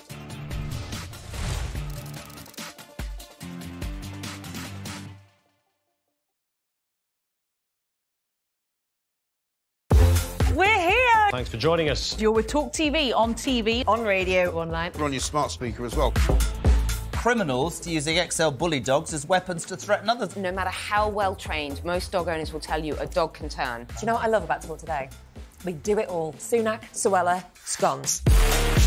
I rather like David Cameron. I don't sort of bear him any ill will because he delivered the referendum that he said he would deliver.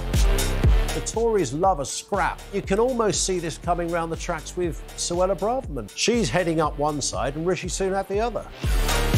The police are pro Palestine. That is just not right. You swear an oath in the police to act without fear or favour The COVID inquiry seems to have turned into a sort of pantomime. There's not really any substance to it. It's hard to know whether it's a farce or a tragedy. The amount of time it's taken, the number of illegal migrants currently sent by us to Rwanda, zilch. The amount of money it's cost, we're saying, what are we saying it's cost? About 140 million. 140 million pounds so far. So 140 million pounds so far result nil, absolutely nil. Are we only going to be trusting sources like Meta and Google? Where is our unbiased news going to come from? Calais in winter is cold. that is from the Jeremy Corbyn book. Kevin O'Sullivan is the worst presenter on Talk TV, sitting on his fat ass talking for a living. If you're walking towards me and you're a vegan, you should have a great big orange sticker over here saying, Watch out, vegan's about.